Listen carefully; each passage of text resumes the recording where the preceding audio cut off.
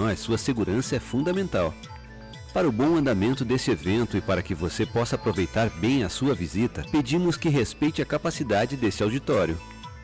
Localizem e identifiquem as saídas de emergência. Elas estão fixadas em pontos estratégicos.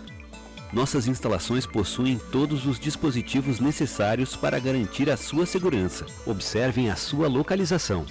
Em caso de emergência, mantenham a calma para que todos os problemas eventuais sejam controlados e sigam as instruções dos brigadistas de incêndio, percorrendo o trajeto indicado. E lembre-se de respeitar as indicações de não fumar. Por favor, desliguem os celulares ou coloquem no silencioso. O sistema Firjan cuida de todos os detalhes para que você aproveite ao máximo o seu dia aqui dentro. Obrigado por sua atenção. Tenham todos um excelente evento.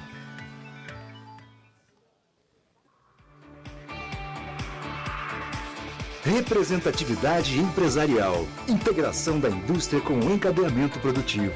Produtividade para a indústria e bem-estar para o trabalhador. Tecnologia, inovação e educação profissional.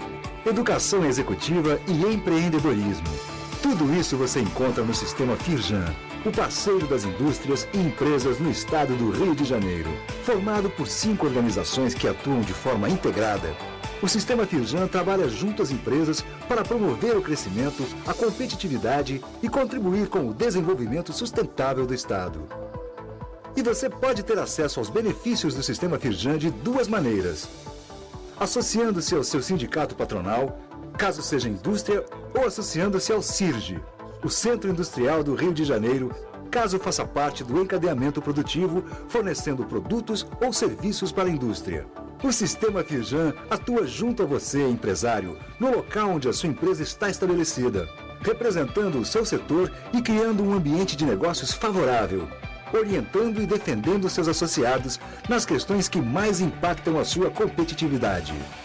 Para isso, está presente em diversos municípios, com representações regionais em todo o estado do Rio e um escritório em Brasília.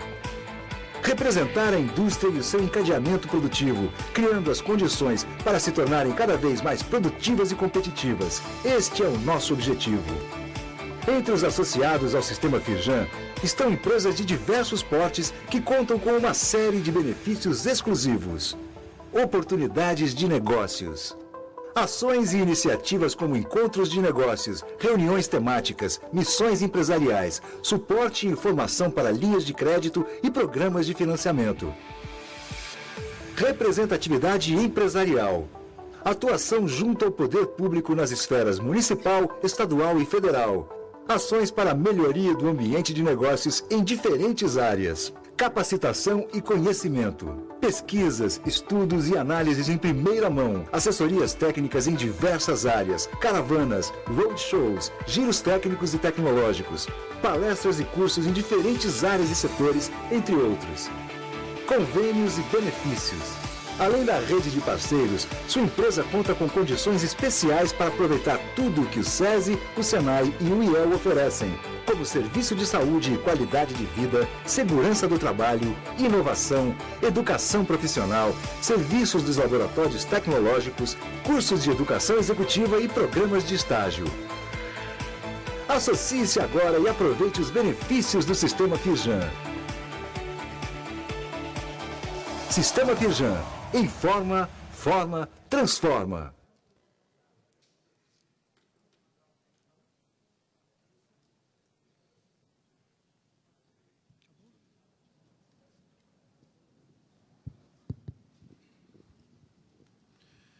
Bem, bom dia a todos, senhoras senhores.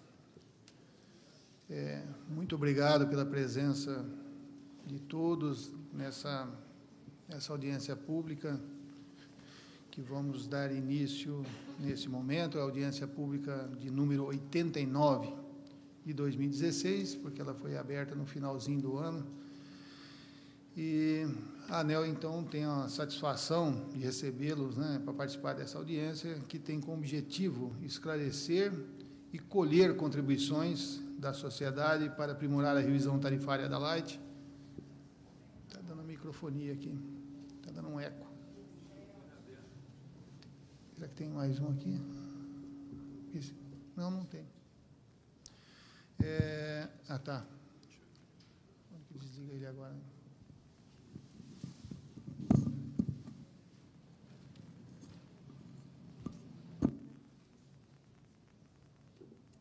Não sei. Não sei onde. Não, está ligado. É, acho que tinha que desligar, né? Porque está dando microfonia, né? Está dando eco. É... Bom, então, é, para a revisão tarifária da Light, referente ao quarto ciclo de revisões tarifárias das concessionárias de distribuição de energia elétrica e também para a redefinição dos correspondentes limites de indicadores de continuidade DEC-FEC para o período de 18 a 21. Então, nesse início, eu convido todos a, os presentes para, em posição de respeito, ouvirmos o hino nacional brasileiro.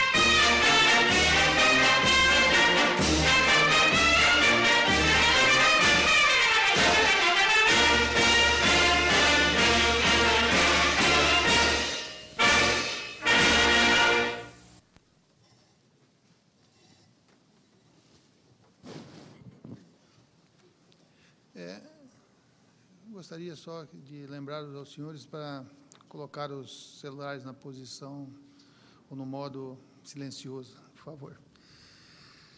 E a mesa diretora dessa audiência pública é composta pelos seguintes membros: por mim, José Jurosa Júnior, diretor da ANEL e presidente dessa audiência, pelo Tiago Roberto Magalhães Veloso, especialista em regulação da Superintendência de Gestão Tarifária, e da senhora Josiane Carlos de Aguiar Santos, secretária secretária dessa audiência. É importante destacarmos que a audiência pública está consignada em lei e é um instrumento de apoio ao processo decisório da ANEL, de ampla consulta à sociedade que precede a expedição de seus atos administrativos. E durante essa audiência serão apresentados os resultados preliminares obtidos no processo de revisão e de abertura tarifária, que acontece por consequência da assinatura de eventual termo de aditivo ao contrato da Light, que prevê a redefinição da data de revisão tarifária, bem como uma série de contrapartidas da concessionária e seus sócios controladores para assegurar a qualidade no serviço prestado e a sustentabilidade econômico-financeira da concessão. Dentre outras, destacam-se as seguintes obrigações não existente no atual contrato de concessão da Light. Primeiro, a sustentabilidade econômica e financeira, no qual, pelo novo contrato, a distribuidora irá se comprometer a preservar durante toda a concessão condição de sustentabilidade econômica e financeira na gestão dos seus custos e despesas, de solvência de endividamento, dos investimentos em reposição, melhoria e expansão além da responsabilidade no pagamento dos tributos na distribuição de proventos. O descumprimento gera necessidade de aporte de capital dos sócios controladores em montante suficiente para atender à condição de sustentabilidade mínima, restrição de dividendos e limitação dos contratos entre partes relacionados. Segundo, governança corporativa e transparência.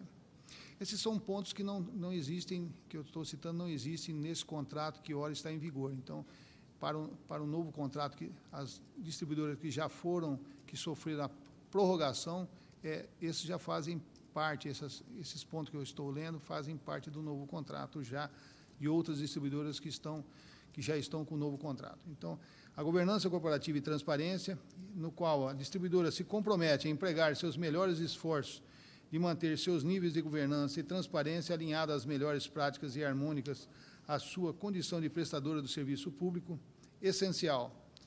A regulação da ANEL poderá compreender, entre outros parâmetros mínimos e deveres regulatórios relacionados ao Conselho de Administração, à diretoria, ao Conselho Fiscal e à auditoria e à conformidade. Três, o compromisso dos sócios controladores, nos quais assinam um contrato de concessão como intervenientes e garantidores das obrigações e encargos estabelecidos. Se comprometem solidariamente, em caráter irretratável e irrevogável, a aportar anualmente na concessionária em até 180 dias contados do término de cada exercício social, sob forma de integralização de capital social em caixa ou equivalentes de caixa, ou pela conversão de empréstimos passivos em capital social, a totalidade da insuficiência que ocorrer para o alcance do parâmetro mínimo de sustentabilidade econômica e financeira. Quarto, eficiência com relação à qualidade. A métrica objetiva para, para a melhoria dos indicadores de duração equivalente de interrupção por unidade de consumidor, o DEC, e frequência equivalente de, de interrupção por unidade de consumidor, o FEC, nos primeiros cinco anos. Em cinco anos, a qualidade oferecida aos consumidores deve ser melhor do que os limites regulatórios, regulatórios definidos pela ANEL. A inobservância dos indicadores implica em abertura de processo para a caducidade da concessão. 5.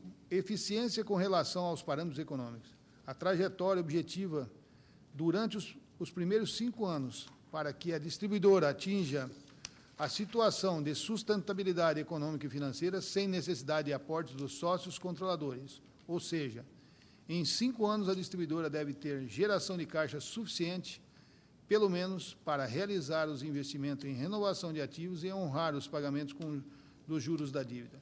A inobservância dos indicadores também implica em abertura de processo para a caducidade da concessão. E, sexto, a revisão da cláusula econômica. O aprimoramento da cláusula para melhor partição de risco entre concessionário e consumidores. E, dentre as medidas, se destaca a reversão para a modicidade tarifária das receitas com ultrapassagem de demanda e excedentes de reativos, mitigação dos riscos de mercado, focando o risco à concessionária e parâmetros por ela gerenciados a neutralidade de todos os itens da parcela A, compra de energia, transmissão e encargos setoriais, e maior previsibilidade da receita da parcela B, que, é, que essa é toda a gestão da distribuidora. Em síntese, ou eventual celebração do termo aditivo, sem, em contrapartida, a antecipação da aplicação de regras já vigentes para revisão tarifária, conforme pedido da Light, está alinhado com interesse público. Ou seja, eu digo eventual porque foi um pedido da Light, então nós estamos é, fazendo toda essa análise é, para ela aderir ao novo contrato. Então, coletaremos também nessa audiência pública as contribuições dos expositores visando ao aperfeiçoamento do processo, todas as apresentações e documentos entregues nessa reunião, bem como os que forem enviados à ANEL por meio de nosso site ou via correio serão analisados na agência. E o processo de revisão tarifária da Light teve início há alguns meses, compreendendo, entre outros, a seguinte etapa: a declaração de interesse da concessionária pela assinatura do aditivo contratual, a apresentação pela concessionária das informações requeridas, a elaboração por parte da ANEL dos, da primeira proposta de revisão tarifária e a apresentação dessa proposta à concessionária, a manifestação da concessionária sobre a proposta apresentada e a divulgação no, no site da ANEL, da audiência pública, das notas técnicas, com as propostas e revisão para os indicadores de qualidade e para a estrutura tarifária. Desta forma, dando prosseguimento ao processo de revisão tarifária, estamos realizando nessa sessão presencial, que obedecerá aos seguintes procedimentos. Uma, abertura, uma apresentação por parte da ANEL em até 20 minutos, da área técnica. Uma apresentação da Light, também em até 20 minutos. Uma apresentação do Conselho de Consumidores, também em até 20 minutos. E a manifestação dos expositores limitada a 5 minutos cada. Inicialmente, será permitida a manifestação de um representante de cada entidade. No entanto, findas as manifestações dos expositores inscritos, e se houver tempo, poderemos permitir o retorno dos expositores para complementar a sua manifestação e a manifestação de outros participantes da audiência, inclusive aqueles pertencentes à entidade cujos representantes manifestaram-se anteriormente na audiência. E nós temos uma previsão de encerramento dessa audiência para as 12h30. Então, dando início a essa audiência, apresentaremos nesse momento um vídeo institucional que apresenta as atribuições da Agência Nacional de Energia Elétrica.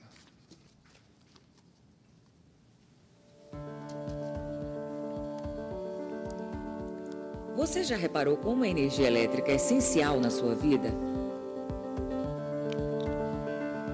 A energia elétrica está presente no seu dia a dia, no seu computador, carrega o seu celular, aquece a água do seu banho, está nas escolas, nos hospitais. Para garantir que esse serviço essencial funcione com qualidade, é que existe a Agência Nacional de Energia Elétrica. A ANEL fornece as condições para que o sistema elétrico brasileiro trabalhe adequadamente, cuidando para que a energia elétrica seja gerada, transmitida e distribuída de maneira contínua e com preço justo. ANEL que faz as regras que garantem os seus direitos e a qualidade da energia que chega até sua casa. A Resolução Normativa ANEL 414 estabelece as condições gerais de fornecimento de energia elétrica. Nela, você encontra os direitos e os deveres dos consumidores e das empresas de energia elétrica. A Resolução 414 pode ser consultada no Espaço do Consumidor, Visite o portal da ANEL para mais informações.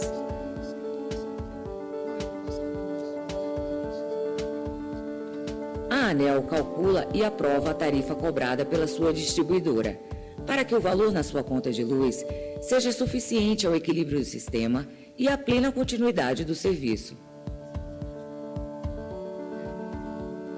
Antes de tomar decisões que possam afetar o cotidiano de todos, a ANEL debate propostas com a população, por meio de audiências e consultas públicas, promovendo uma regulação com autonomia e transparência.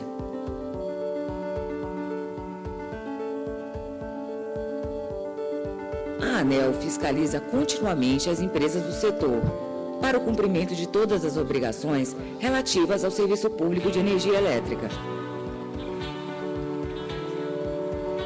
Além de cuidar para que o sistema elétrico funcione adequadamente, a ANEL estimula a inovação e tecnologia para que soluções sustentáveis sejam desenvolvidas e cheguem à sua casa. ANEL, essencial para a energia, essencial para o Brasil.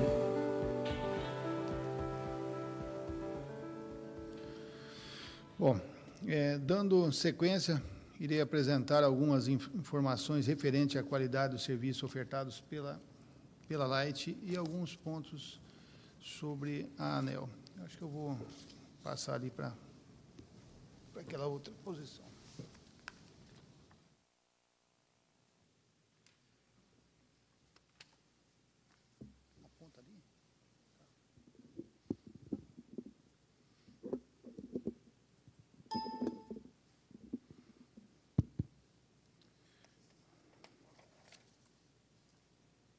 Não é esse, não.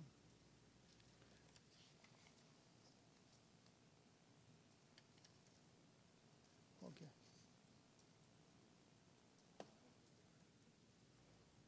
Ah, tá.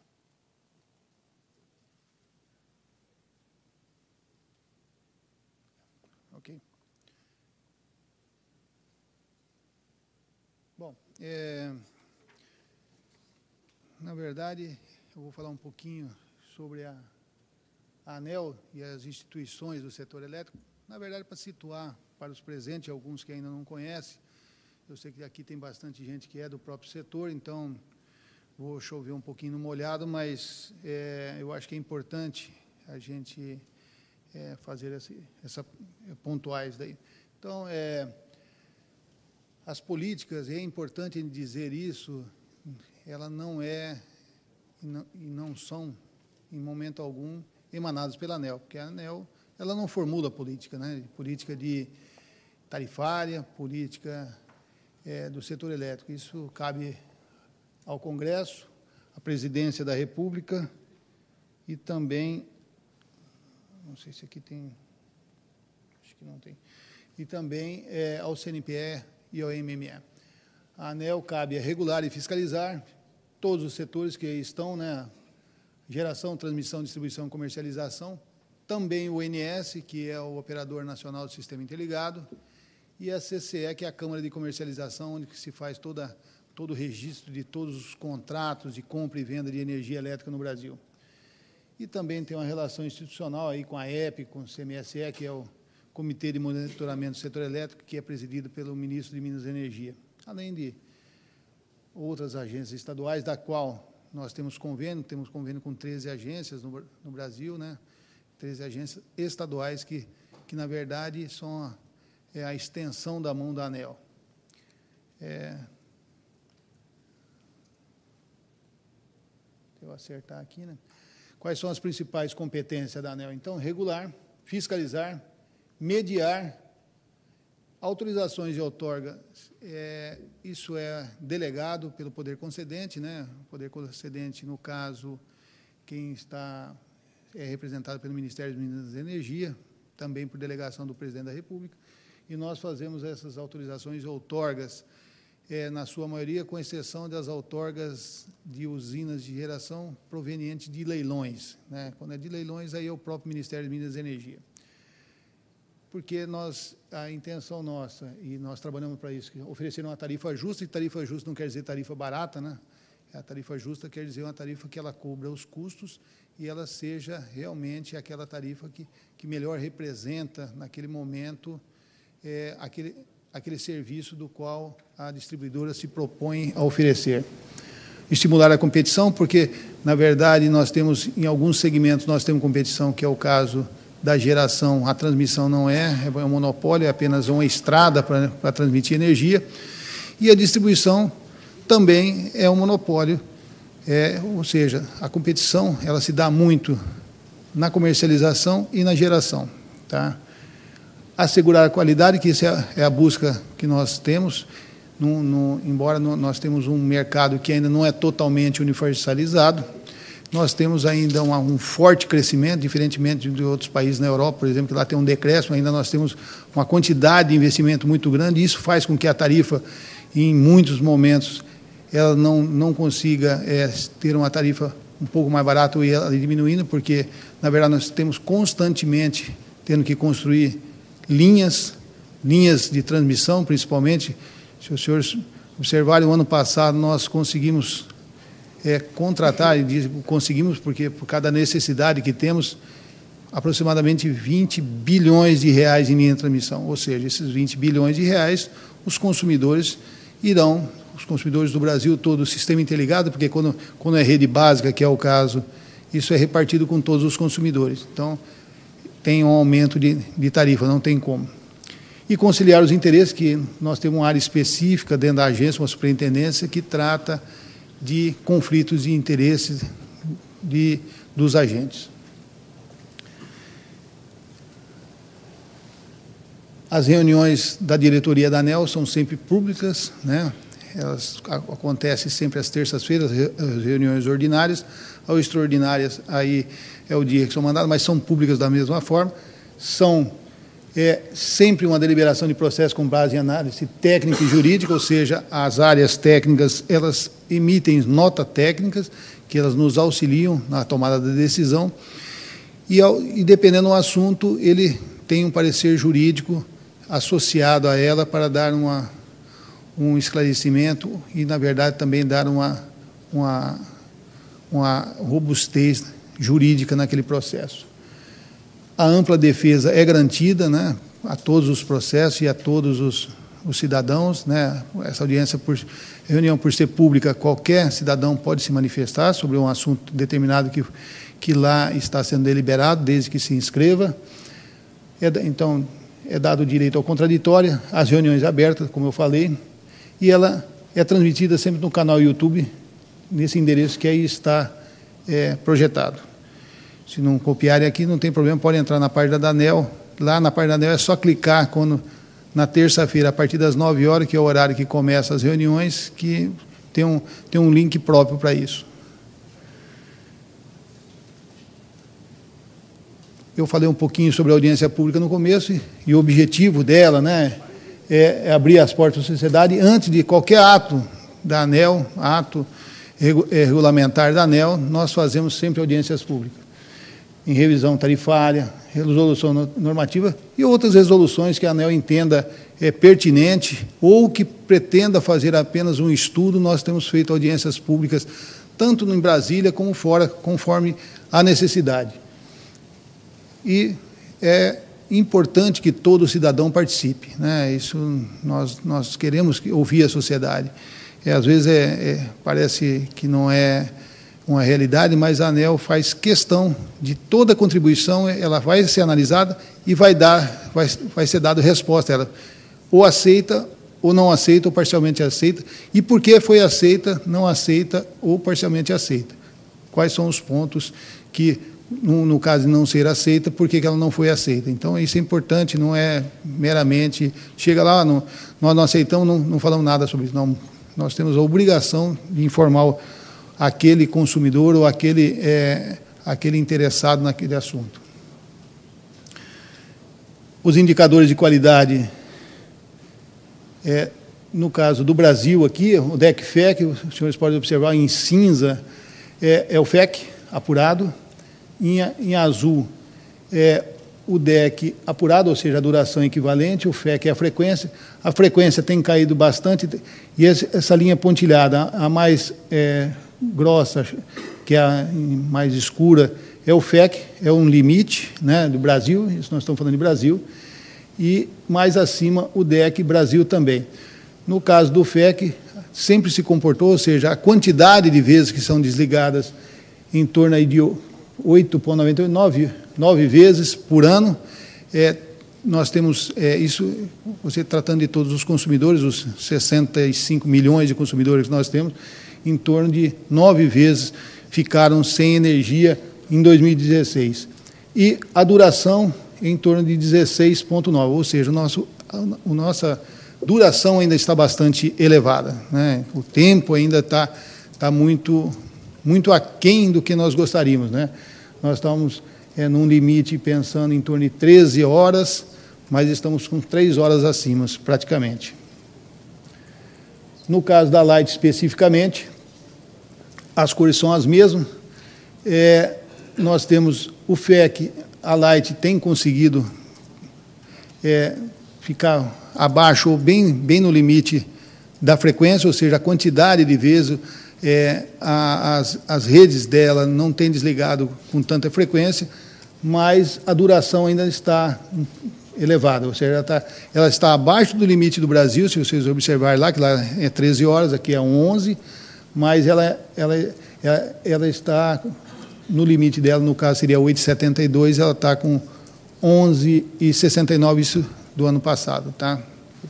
falando, ela tem se comportado diminuindo, vocês podem observar que a partir de 2014 teve uma forte inversão, né? ela estava crescente, a partir de 2014 inverteu bastante, fruto de, de ações da própria empresa é, no combate é, e na, na perseguição, vamos dizer assim, de melhoria. Né? E eu acho que isso, isso que é o importante, isso que a empresa tem que fazer, é o papel dela mesmo.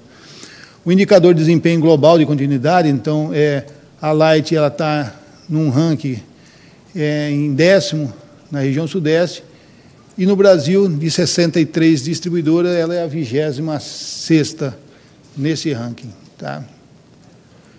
É, quanto à pesquisa de satisfação, que é um que é um prêmio IASC que a ANEL é, todo ano oferece às melhores distribuidoras. e essa é a percepção do consumidor de cada concessão. Né? Nós fazemos essa, essa pesquisa ao longo do ano em, em uma forma de sorteio, é, por meio de estatística. A Light ela havia diminuído, é, em 2014 ela sofreu uma, uma elevação bastante interessante. O ano, pass... o ano 2015 o ano 2015 ela teve um problema muito sério, a questão dos preços de energia, por conta que nós tivemos aqueles empréstimos, toda aquela questão da, é, da falta de energia, né? então isso impactou não só a Light, mas todas as distribuidoras. 2015 foi um dos, na, na percepção do consumidor, é, foi onde que elas, ela mais é, foi, foi é, prejudicada, todas no Brasil. Caiu fortemente essa esse, satisfação do consumidor com a distribuidora, mas muito em função do, do valor. O senhor sabe muito bem que em 2015 nós tivemos um aumento muito forte na, nas tarifas de energia elétrica. E o ano passado, como nós já foi um ano com um comportamento bem mais é, normal, vamos dizer assim, o, o, a, a, o índice da, da Light ela já melhorou bem mais, ela está bem próximo do Brasil, ó, 63, praticamente 64 é a nota da, da Light dada por seus consumidores.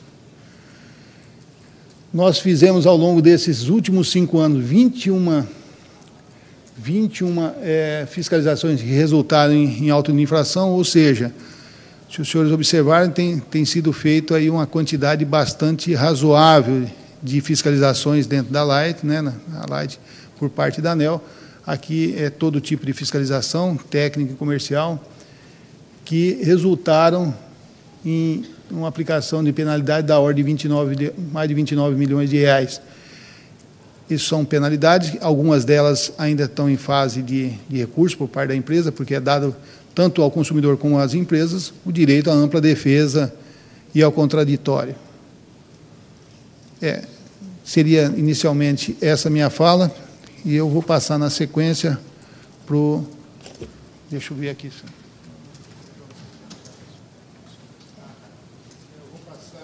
para o, para o Tiago Roberto Magalhães, que apresentará a metodologia. Tá?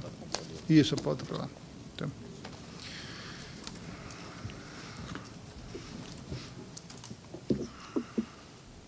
É, bom dia a todos. É, bem, o objetivo dessa apresentação da ANEL é reforçar alguns pontos que o Dr. Girossi já trouxe. E um dos objetivos é, primeiro, contextualizar a solicitação da Light de adesão ao novo modelo de contrato de concessão. Recentemente, nós tivemos uma quantidade grande de distribuidoras, ao todo 39 das 63 distribuidoras, que tiveram o prazo da concessão finalizado. E essas distribuidoras foram prorrogadas a concessão por mais 30 anos, seguindo um novo modelo de contrato de concessão, ou seja, novas regras de prestação do serviço de distribuição. Posteriormente, a ANEL entendeu que também poderia ser disponibilizado esse mesmo contrato, mesmo para distribuidoras que não tenham prazo de concessão vencido agora, que é o caso da Light, que só tem a concessão em 2026. E, recentemente, a Light ela fez a solicitação para adesão desse novo contrato. Então, na sequência, vou estar falando um pouco quais são as alterações promovidas para esse novo contrato e qual o contexto dessa solicitação da Light. Um outro objetivo da apresentação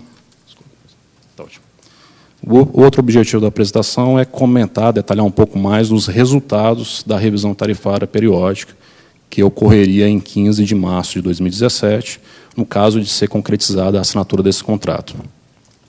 Conforme já foi divulgado é, desde 19 de dezembro, né, há exatos um mês, o efeito médio a ser percebido pelos consumidores é de 12,36%.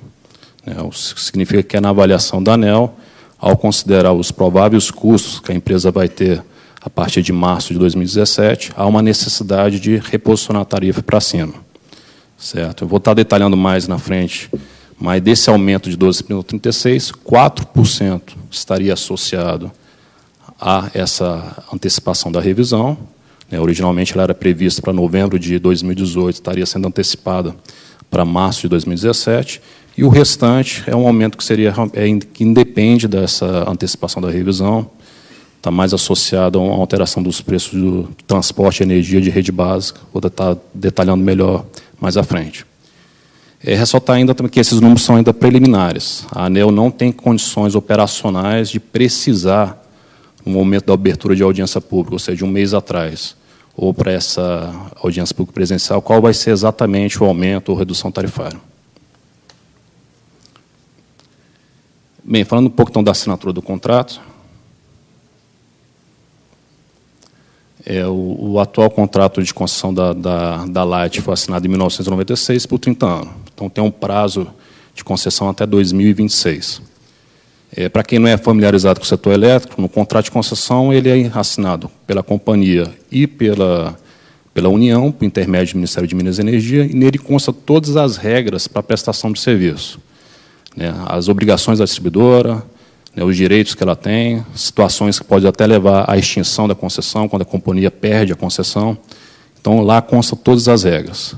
E, conforme eu disse, ao longo dos anos de 2015 e 2016, um número elevado de empresas tiveram o prazo de concessão finalizado, e, nessa ocasião, a ANEL, junto com o Ministério de Minas e Energia, implementou uma série de alterações no novo modelo de, no contrato de concessão, baseada na experiência passada de regulação, as alterações que ocorreram no setor elétrico, então foram implementadas uma série de alterações nesse novo modelo. O entendimento da ANEL hoje que esse modelo é melhor do que o atual, é o melhor do que o modelo de contrato de concessão atualmente que a, Light pratica e as demais distribuidoras que ainda não passaram por prorrogação. O slide seguinte é o detalhe, quais são as principais alterações, já comentadas pelo Dr. Girosa. E, posteriormente, a ANEL estendeu esse contrato também, até como uma forma de incentivar né, todas as distribuidoras a aderirem a esse novo contrato, que o entendimento dela é melhor, as demais distribuidoras. Aqui a gente não está discutindo uma nova prorrogação, ou seja, o atual contrato, mesmo a Light assinando, continua indo até 2026. Nós estamos falando só de adesão às novas regras do contrato. Em 10 de outubro, a Light solicitou, é, demonstrou interesse para a assinatura desse novo contrato, mediante algumas condições. Uma delas é a antecipação da revisão. E quais são as principais alterações? A primeira delas, foram feitas uma série de medidas nesse novo contrato que procura mitigar a exposição da distribuidora a riscos não gerenciáveis, a custos não gerenciáveis. Parte do custo que a Light tem e as demais distribuidoras são não gerenciados por ela. Ela não tem gestão sobre esses custos. E por diversas situações, muitas vezes há uma variação desses custos sem a variação da receita, de um custo que ela não tem gerência. E isso pode levar, no limite, a, a empresa ter dificuldades financeiras, a ter que adiar investimentos. Então, o novo contrato adotou uma série de medidas para mitigar esses riscos. Ele vai tanto no sentido de mitigar as perdas da distribuidora com esses custos não gerenciados, como também mitigar os possíveis ganhos extraordinários. E, para quem é mais familiarizado no setor, que nós chamamos de neutralidade da parcela principal delas. Tá? Então, essa é uma medida que procura permitir ao distribuidor ter mais foco no negócio dela, que é a distribuição de energia. Ela não sofrer esses sobressaltos de um item de custo que ela não tem gerência. As outras duas alterações é, importantes, tem algumas outras, destaquei as principais, foi criar novas exigências para a distribuidora. Uma delas tem a ver com a sustentabilidade econômica e financeira. Então, o novo contrato prevê o acompanhamento de indicadores que é, representam a saúde financeira da empresa, como endividamento, receita, é, geração de, de receita operacional. E se violados pelas distribuidoras, por exemplo, um aumento grande de endividamento, o contrato prevê uma série de sanções para a distribuidora. Uma delas, por exemplo, é a impossibilidade dela distribuir lucro dela distribuir dividendos, né? juros sobre capital próprio. Ou seja, uma situação de grande endividamento não faz sentido você ter uma distribuição de, de dividendos né, em situações extremas. Uma outra delas é obrigar a própria distribuidora, o grupo, a aportar recursos. Então, ao invés de você ter uma, uma sequência de endividamento junto a bancos, ter um aporte de recursos. E, no extremo, a própria extinção da concessão, quando é declarada a caducidade. Então, o novo contrato estabelece as exigências, é uma forma de induzir as distribuidoras a ter um comportamento, a preocupação maior à sustentabilidade financeira, a ter investimentos que, de fato, trazem resultados, a preocupação operacional também. Uma outra exigência é também estabelecer limites de continuidade, ou seja, alguns indicadores que medem a, a continuidade na prestação de serviço. Então, a ANEL monitora se as distribuidoras têm uma falta grande ou não de energia, é, interrupções do fornecimento. São dois indicadores principais, um que mede a duração e outro que mede o número de vezes que ocorrem essas, essas interrupções.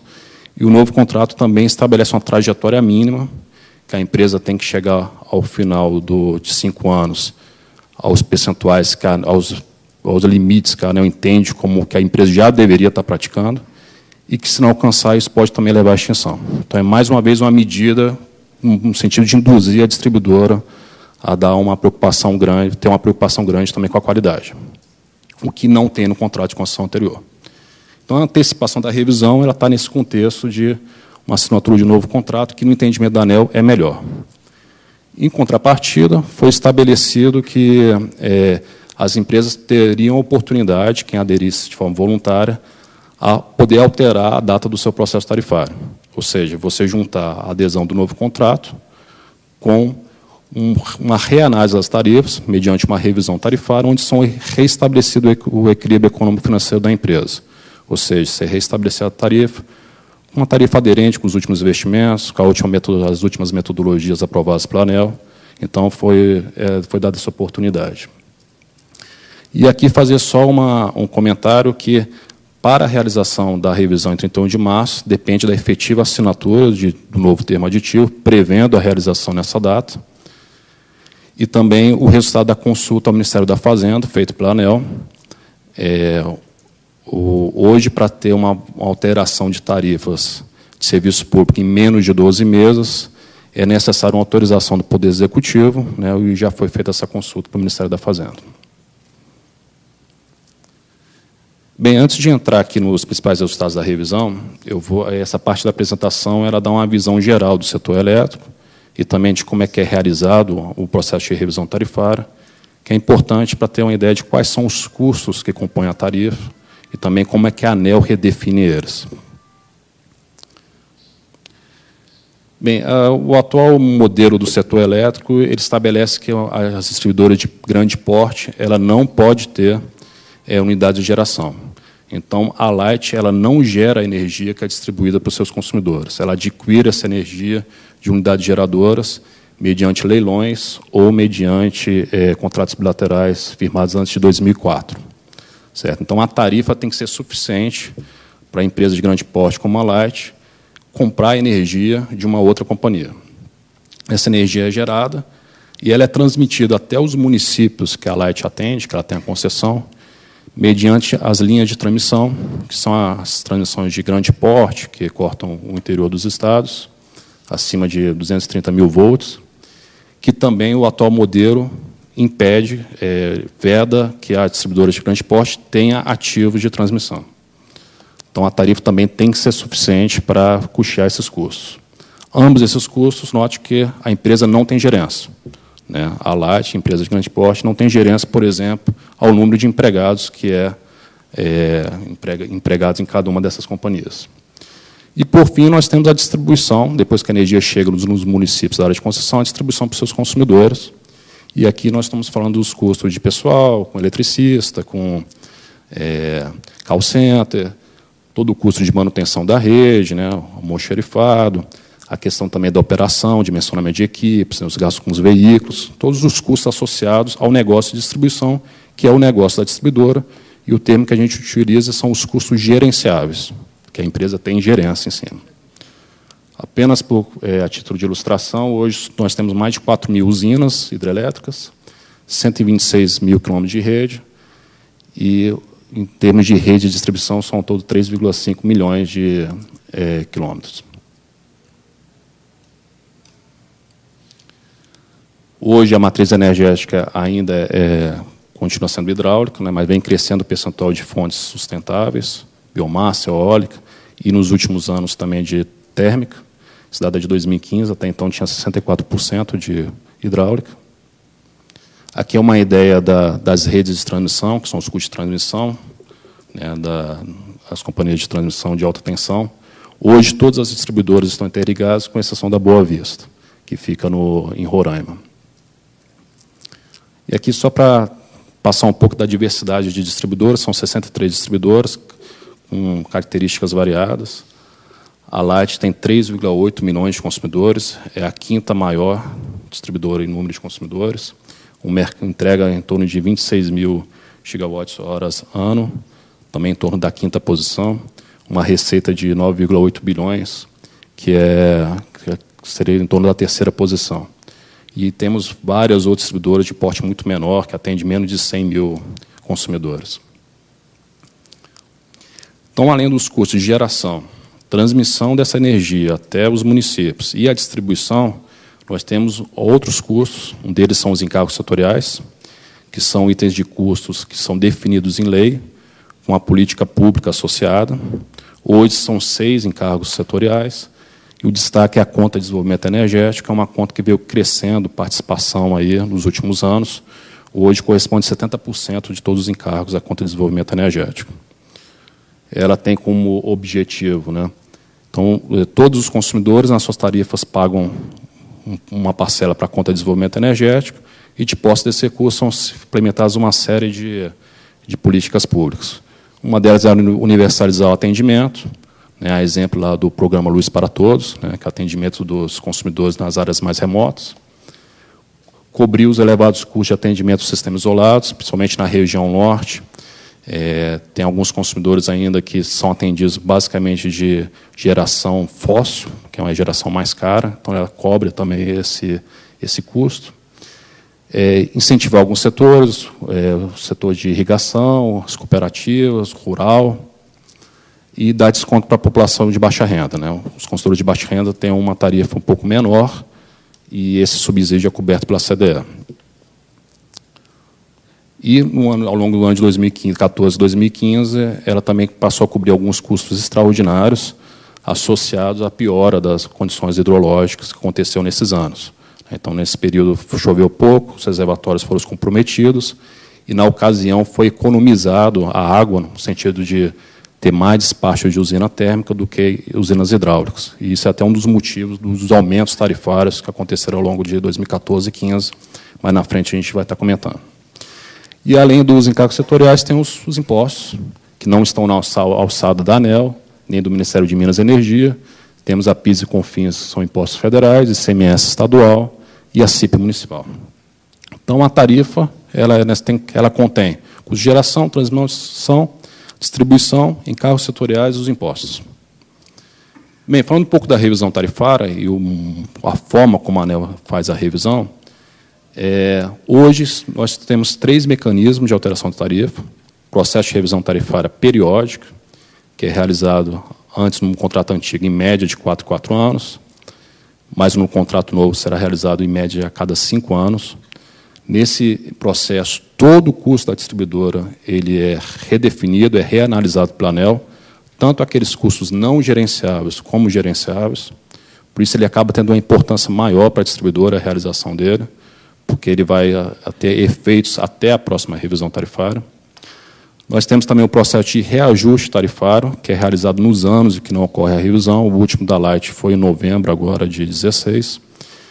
E nele os custos não gerenciáveis, eles são revistos, reanalisados, e os custos gerenciáveis, que é aqueles associados ao distribuidor, são apenas atualizados monetariamente.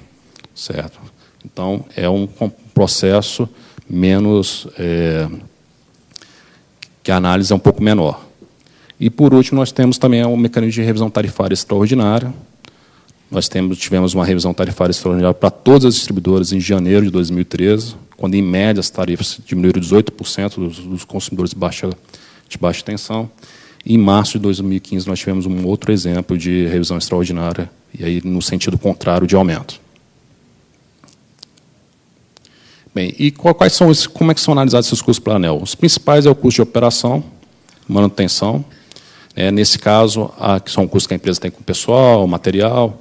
Nesse caso, a ANEL, a partir dos dados contábeis das empresas, ela busca exemplos no setor de empresas que são eficientes na gestão do, dos custos operacionais, e aí essas empresas passam a ser exemplo para a definição dos custos regulatórios. Nesse, nesse aspecto, a Light ela tem uma, ela está com uma eficiência próxima da eficiência média, segundo a análise da ANEL, ou seja, não está nem entre as mais eficientes, nem entre as menos eficientes. E também temos os custos associados ao capital, ao investimento realizado, que é a remuneração do capital e a cota de reintegração. E como é que é feito isso? Então, a ANEL, junto com a empresa, né, é, contrata uma empresa credenciada para levantar dentro da base de remuneração. Então, elas são levantados todos os ativos da distribuidora. E, a partir desses ativos, é aplicada uma, uma taxa de remuneração regulatória e uma cota de reintegração. E aí você obtém novos valores que devem estar contidos nas, nas tarifas. É, o resultado da, da aplicação da, do, da análise de custo operacional Light é uma trajetória de aumento desses custos. Então, a análise está indicando que é necessário você está dando mais custo operacional para a empresa, mas o impacto é bastante reduzido, na revisão é apenas de 0,20%. E, no relação aos investimentos, a análise indica que, tendo como, é, como base os atuais investimentos que a, empresa fez, a remuneração e a cota de reintegração contida na tarifa não é suficiente, daí há também uma necessidade de reposicionamento. Desse aumento de 12%, 2% decorre desses investimentos aqui dos custos capitais. Um outro tema importante que é discutido na, na revisão são as perdas elétricas. Né, Para a, a distribuidora distribuir determinada quantidade de energia para os seus consumidores, ela tem que comprar uma quantidade maior de energia. Por quê? Porque parte dessa energia vai se perder no transporte, tanto no transporte das linhas de tensão mais alta, que é a rede básica, como até no transporte das linhas de, de transmissão dela mesmo, é o que nós chamamos de perdas técnicas, como também do furto de energia, que é aquele furto de energia que acontece dentro da área de concessão da distribuidora. Né? Então, pode correr por meio de fraude nos medidores, o próprio furto, e também tem a ver também com erros de faturamento, falta de medição que pode acontecer. Essa é, um, é uma questão que é bastante discutida para a Light. A Light é a empresa privada que pratica a maior perda não técnica sobre BT.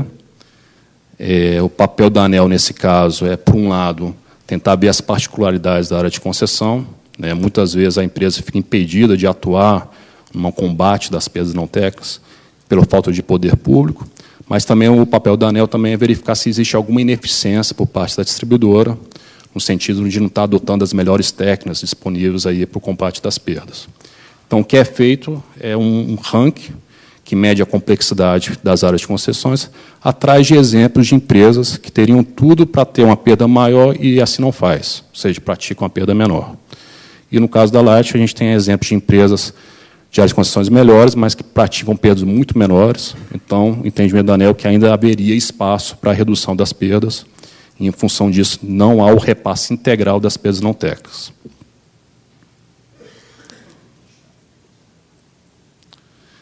Bem, agora eu vou entrar nos resultados da revisão tarifária. É, conforme eu comentei, o efeito médio é de 12,36%. Em relação aos encargos setoriais, que são aqueles definidos por lei, política pública, não é um fator de pressão. Tem aqui um aumento, é, corresponde dizer, por 0,85% desse aumento de 12,36%. Os custos de transmissão, sim, é um fator que está pressionando esse resultado da revisão. Esse custo de transmissão ocorreria independente da antecipação ou não da revisão. Em 2013, nós tivemos uma redução das tarifas, até resultou na revisão tarifária extraordinária para todas as distribuidoras, porque os, o, as tarifas cobradas pelas transmissoras começaram a refletir que parte, uma grande parte dos ativos já estavam depreciados. Então, teve uma redução das tarifas. E ficou também definido que a parte que ainda não seria, estava depreciada seria posteriormente indenizada, com pagamento da União para as transmissoras. Recentemente teve a conclusão desse cálculo da parte indenizada e a decisão do governo federal foi, pelo Ministério de Minas e Energia, foi não um repasse da União para as transmissoras, e sim que isso deveria ser pago via tarifa. E o resultado de essas indenizações serem pagas na tarifa é esse aumento de 4,5%. Como disse, é um efeito que será observado é, próximo disso por, também por, todos, por todas as distribuidoras a partir de julho de 2017. Os custos de aquisição de energia também não é um fator de pressão. O distribuição, esses sim associados com a antecipação da revisão. E, conforme eu comentei, o, o principal responsável são os investimentos, que responde por 2%. Então, quando a gente volta a analisar o perfil de trajetória de investimentos da distribuidora, com a nova é, taxa de, de remuneração, percebe a necessidade de reposicionar as tarifas para refletir essa nova realidade. Então, responde por 2% do 4,15%. E também nós temos os componentes financeiros, que são ajustes que são feitos. É, o processo tarifário nada mais é que dar uma previsão dos prováveis custos, dos custos não gerenciáveis. Muitas vezes há variações e isso é corrigido via, via componente financeiro, conjugando os, as duas últimas barras, nós estamos falando também de aumento de 2%, também não é o que mais explica. Lembrando que esse resultado ele varia por classe de consumidor e por subgrupo tarifário. Tá? Então, esse efeito médio 12,36 não é o mesmo para todos os consumidores. Classe de consumo, nós estamos falando de consumidor residencial, industrial, comercial, rural. Subgrupo tarifário são os determinado nível de tensão. Esse quadro, esse quadro mostra já o efeito médio com mais, de forma mais segregada. Então, a primeira parte são os consumidores na alta tensão. Nesse caso, o efeito médio percebido é de 20,56%. E no quadro abaixo, dividido por classe de consumo, os consumidores na baixa tensão, nesse caso, o efeito médio é de 8,55%. No processo de revisão, a gente também, além de ver as variações de custos, é feita uma reanálise de quanto custa para expandir a rede em determinado nível de tensão. E o resultado da análise indica que para expandir a rede na alta tensão, é, ficou mais caro desde a última análise. Como ficou mais caro, ela é responsável por uma maior alocação de custos. Então, a alta tensão tem um aumento tarifário maior. Por outro lado, o estudo indica que para atender a baixa tensão ficou mais barato em relação ao estudo anterior, e é por isso que o aumento da baixa tensão é menor do que a média. Aqui, só para ilustrar, hoje a tarifa B1 paga pelo consumidor residencial ela é de 478 reais por mil kWh, e após o processo de revisão ela passaria para 519, aumento aí por volta, de volta de 40 reais. E conforme a análise anterior, o principal responsável é o custo de transmissão e também os associados à distribuição. Então, os custos de transmissão com aumento de R$ 17,00 e o de distribuição por R$ 10. Em relação às perdas, tendo como base a energia injetada, é a energia que entra no, no sistema de distribuição da Light, é, perda técnica e não técnica, a Light hoje pratica em média 24% nos últimos anos. E o percentual reconhecido pela ANEL é de 20,8%, ou seja, tem uma diferença aí que aí continua sendo suportada pelo acionista, né, do ciclo anterior para o atual, teve um, um, aumento dessas perdas repassadas pela ANEL, no entendimento de que a área de concessão da, da Light está numa área de concessão pior, mas também não suficiente para ter um repasse integral. Por entender que ainda tem folga, tá? a empresa ainda tem possibilidade de estar reduzindo as perdas. Esse quadro mostra a evolução das tarifas B1 nos últimos anos. Se pegar um período maior, eh, ela ficou próxima da inflação, linha vermelha é o GPM, linha amarela é o, é o IPCA e linha azul é a tarifa B1. Então, se pegar um período maior, ela ficou próxima da variação do IGPM e do IPCA. No entanto, quando se considerar somente a partir de 2013, você tem um aumento aí significativo. Inicialmente, isso, e esse comportamento é meio que parecido para todas as distribuidoras. Então, inicialmente, em 2013, que é o ponto mínimo ali, é, nós tivemos uma RTE, né, o que refletiu aí que os ativos das principais transmissoras e geradoras já estavam muito depreciados. Na sequência, teve uma piora das condições hidrológicas, que fez que se acionasse muitas usinas térmicas. Inicialmente, esse maior custo não foi repassado nas tarifas, na expectativa que isso ia se reverter, mas depois teve uma continuidade da piora. E, em março de 2015, as tarifas passam novamente a, a refletir o, o custo dela. Em novembro de 2016, no último reajuste da Light, já teve um alívio em relação à compra de energia, que foi o responsável pela redução tarifária, que foi homologada em novembro de 2016, mas agora com a, com a revisão, em função, igual nós vimos, principalmente dos custos de transmissão e da distribuição, nós teríamos aí um, novamente um aumento, que é aquele impacto de 8,55 para a baixa tensão, e em média para o consumidor de 12,36. Bem, o outro item que é definido na, na, na revisão é a qualidade. Então, a ANEL ela monitora as interrupções de energia das distribuidoras. Né? E tem dois indicadores globais. Um é o DEC, que é o D de duração, então ela mede as durações das interrupções, e o FEC, o F de frequência, o número de vezes que ocorrem essas interrupções.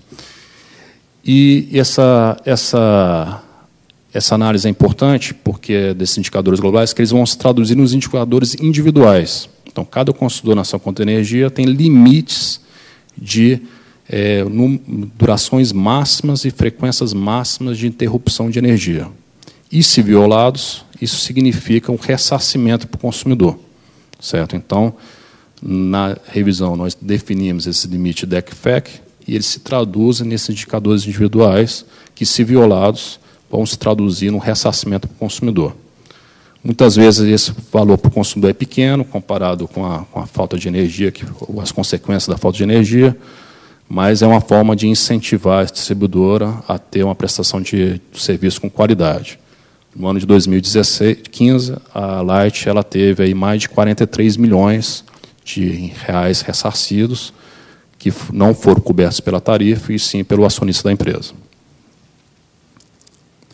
Esse quadro mostra a evolução do DEC e FEC estabelecido pela ANEL nos últimos anos e os estabelecidos na revisão, que é a linha azul e vermelha de 2018 a 2022.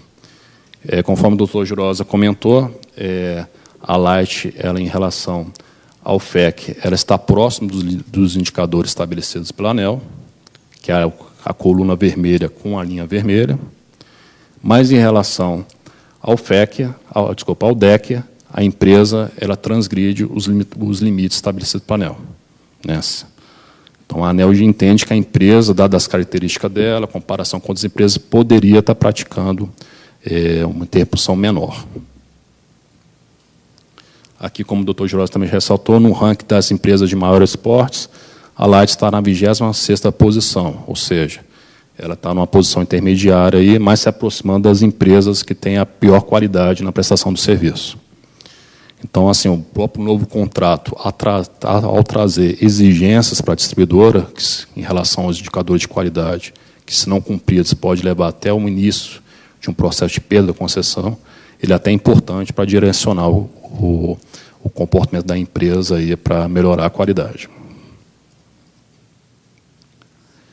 Bem, já finalizando a apresentação, é, só algumas ressalvas. É, por força da regulamentação da ANEL, as distribuidoras são obrigadas a constar na conta de energia quais são os limites de interrupção, né, então é o indicador chamado DIC, FIC DEMIC, certo? e também apurar quanto que faltou energia naquela localização, o consumidor tem um controle do ressarcimento.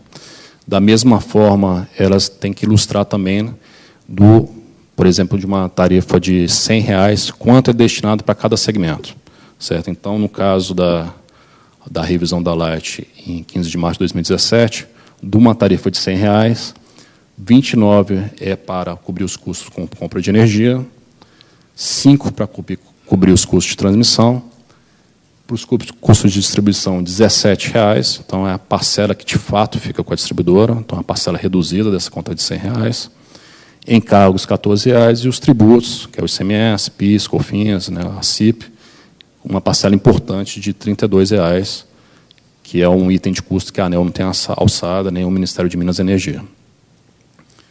Também ressaltar que, a partir de 2015, também foi implementada a sistemática de bandeiras tarifárias.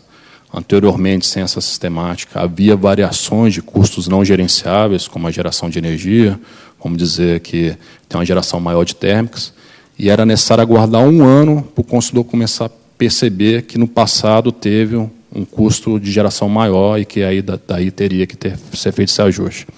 E com o sistema de bandeiras tarifárias, foi dado, é, é dado um sinal de preço ao consumidor, então é divulgado se as condições de geração estão favoráveis ou não, e indicando que não está favorável a um acréscimo na tarifa, e isso é a oportunidade do consumidor estar adaptando seu consumo a essa nova condição.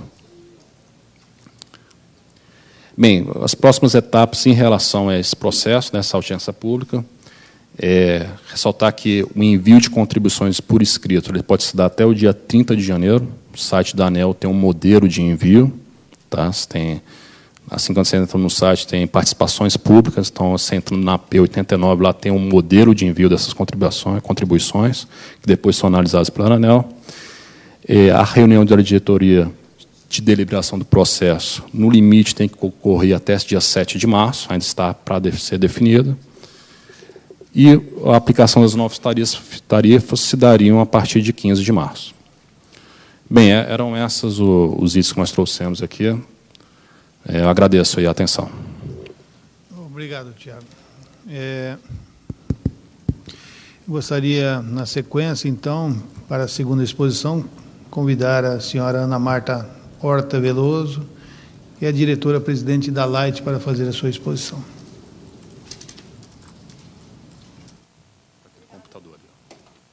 É, primeiramente, a gente queria mostrar um filme que foi preparado mostrando um pouco o nosso dia a dia, as nossas dificuldades de operação na nossa área de concessão, é, no qual a gente tem depoimento de alguns consumidores, depoimentos de empregados, e queria a atenção de vocês para esse breve filme, depois eu vou fazer algumas considerações, tá?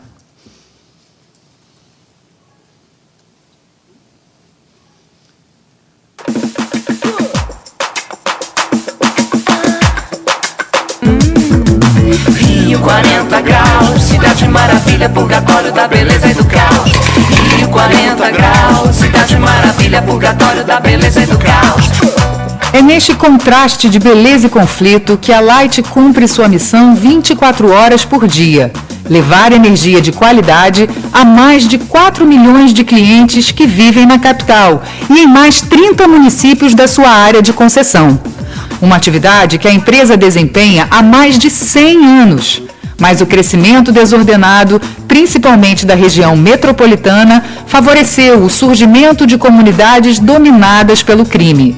Nessas áreas de risco estão quase 900 mil clientes que vivem sob as regras de um poder paralelo. Todo dia nós passamos um sufoco. Só para se ter ideia de uma situação que eu passei, que eu vivenciei, lá no Taquaral, perto de Bangu. Fomos atender um chamado de uma cliente que estava sem luz. Mal entrar na avenida principal, fomos cercados por motos, eu e meu companheiro as pessoas, os indivíduos que estavam de moto estavam todos armados. E o primeiro recado foi: vocês só vão sair daqui depois que toda a comunidade estiver acesa. Tá bom. Tivemos que fazer o serviço para ele. E fomos o dia todo. Começamos, era 8 horas da manhã. E quando conseguimos terminar de fazer o, fa o favor para esse indivíduo que era o chefão da, da comunidade, já era para mais de 8 horas da noite e rua por rua, porque houve uma incursão da polícia no dia anterior e eles falaram, né, que a polícia deu tiro no, na, na, MT e eles deram tiro na, no transformador e passamos o dia todo. E detalhe, sem almoçar, sem nada. E aquela pressão. Parecíamos que nós éramos mal naquela comunidade, porque as pessoas que estavam sem luz passavam perto da gente xingando a gente, xingava, falava mal. Essa pressão toda sem poder reclamar. Temos evidências é, constantes, diariamente, de equipes que são, são ameaçadas, são agredidas até. Teve, já teve casos, por exemplo, de viaturas nossas de serem lambuzadas com dejetos. Já teve casos de traficantes que abordou nossa equipe, pediu, autorizou, bater uma foto dele com um fuzil. A palavra dele, mande para seu chefe que eu estou tirando você daqui. Então saia daqui agora. Ele bateu a foto, como o traficante pediu, e ele teve que se retirar. Além do perigo que os empregados enfrentam a cada atendimento, a guerra de traficantes e o confronto com a polícia causam prejuízos à população e à empresa. Em 2016 foram cerca de 270 interrupções em toda a área de concessão da Light. Essas 270 interrupções interromperam aí cerca de 80 mil clientes é, em toda a sua área de concessão trouxe enormes prejuízos para a gente, em torno de 3 milhões de reais só para recompor essa rede. Fora a energia né, não distribuída, que afeta a receita da empresa, né, além de todo o transtorno que, que causa a população. E também as multas compensatórias, né, em função da descontinuidade, aí, a frequência e a duração dessas interrupções que foram causadas aí por, pela violência, por, né, principalmente em áreas de risco, né, é, principalmente quando você tem um confronto armado que coloca em risco aí a segurança dos nossos profissionais. Batalha diária da empresa também contra o furto de energia. Nos locais onde nem a polícia consegue entrar, fazer gato não é considerado crime. E eu convivo com, com, com gato desde que eu me entendo por gente, porque foi uma coisa de geração. Lá na minha rua todo mundo tem gato. Assim, eu não tenho vergonha de fazer lá meu gatinho, né? Porque eu não tô fazendo mal a ninguém, eu não tô prejudicando a ninguém. A vida é feita de oportunidade, a gente dança conforme a música. Por que, que é muito feio, todo mundo condena uma pessoa roubar comida num supermercado para fazer o seu almoço e essa mesma pessoa não condena esse, esse, esse mesmo cidadão que está ali fazendo um furto de energia. Roubar energia é tão grave quanto roubar qualquer bem num supermercado.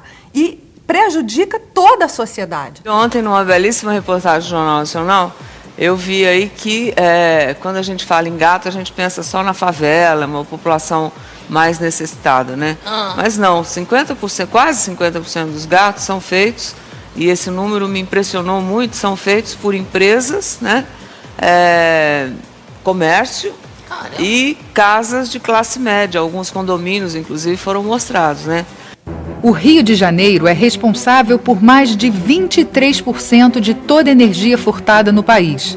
Deste total, 55% do furto acontece nas classes A, B e C. Essa casa fica num condomínio na Barra da Tijuca, zona nobre do Rio de Janeiro, e agora os técnicos estão trabalhando aqui para confirmar se há mesmo uma fraude. Por trás desse quadro foi feita uma conexão.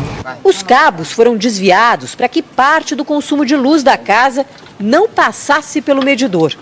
Nós identificamos é, muitas mansões, muitos restaurantes, muitas academias e se utilizando de energia irregular.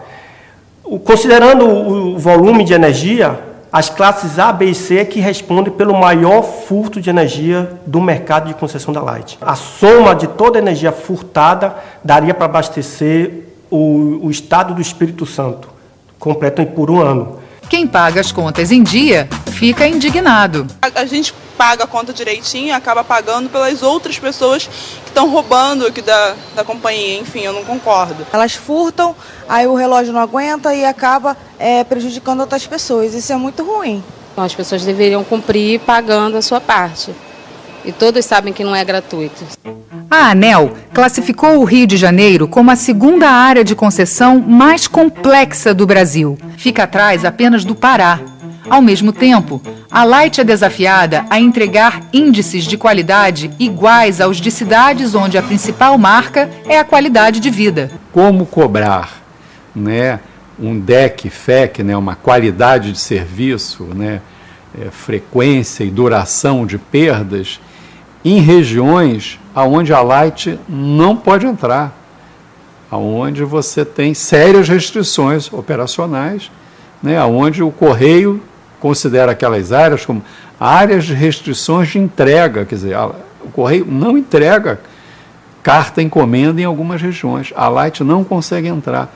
E isso, de certa maneira, entra na média do cálculo do DECFEC.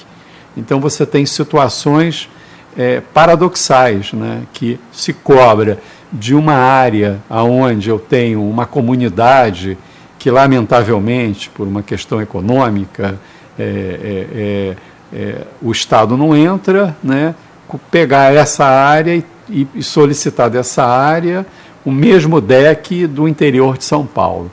É, essa especificidade do caso da Light, do caso do Rio de Janeiro, é que talvez seja o maior desafio dessa revisão tarifária, né? mas que é bem possível se chegar a uma solução, particularmente porque um compromisso que a, a, a regulação tem com uma concessão pública é manter o equilíbrio econômico e financeiro. E como a Light vem, faz aqueles investimentos prudentes de 200 milhões por ano, né, essa questão da qualidade e do equilíbrio financeiro tem que ser analisado e considerado. Furto, calamidade pública no Estado, inadimplência. Resultado: desequilíbrio financeiro. O dinheiro não entra no nosso caixa. Eu faturo, mando as contas para os demais consumidores da Light, inclusive ao setor público, porém eles recebem a conta e não pagam a Light. Então, deixa de entrar cerca de 400 milhões de reais por ano que eu poderia estar investindo, gerando emprego e renda na nossa economia.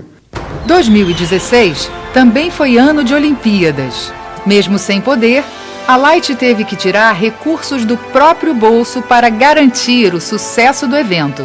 Os investimentos para os Jogos Olímpicos demandaram da empresa investimento na ordem de 800 milhões. Do ponto de vista de estrutura, aonde nós iniciamos a partir de 2013 a construção de várias obras estruturantes como linhas de transmissão, ampliação de subestações, construção de subestações, como também construção de redes de distribuição para atender todos os quesitos do Comitê Olímpico Internacional, que são quesitos de segurança energética, ou seja, não pode faltar energia durante o evento. Esses investimentos só seriam feitos a partir de 2017 e ao longo dos anos até 2020. A Light foi obrigada a antecipar esses investimentos. Esses investimentos só seriam remunerados através da revisão tarifária ordinária prevista inicialmente para novembro de 2018, ou seja, seriam investimentos só seriam remunerados a partir do ano de 2019.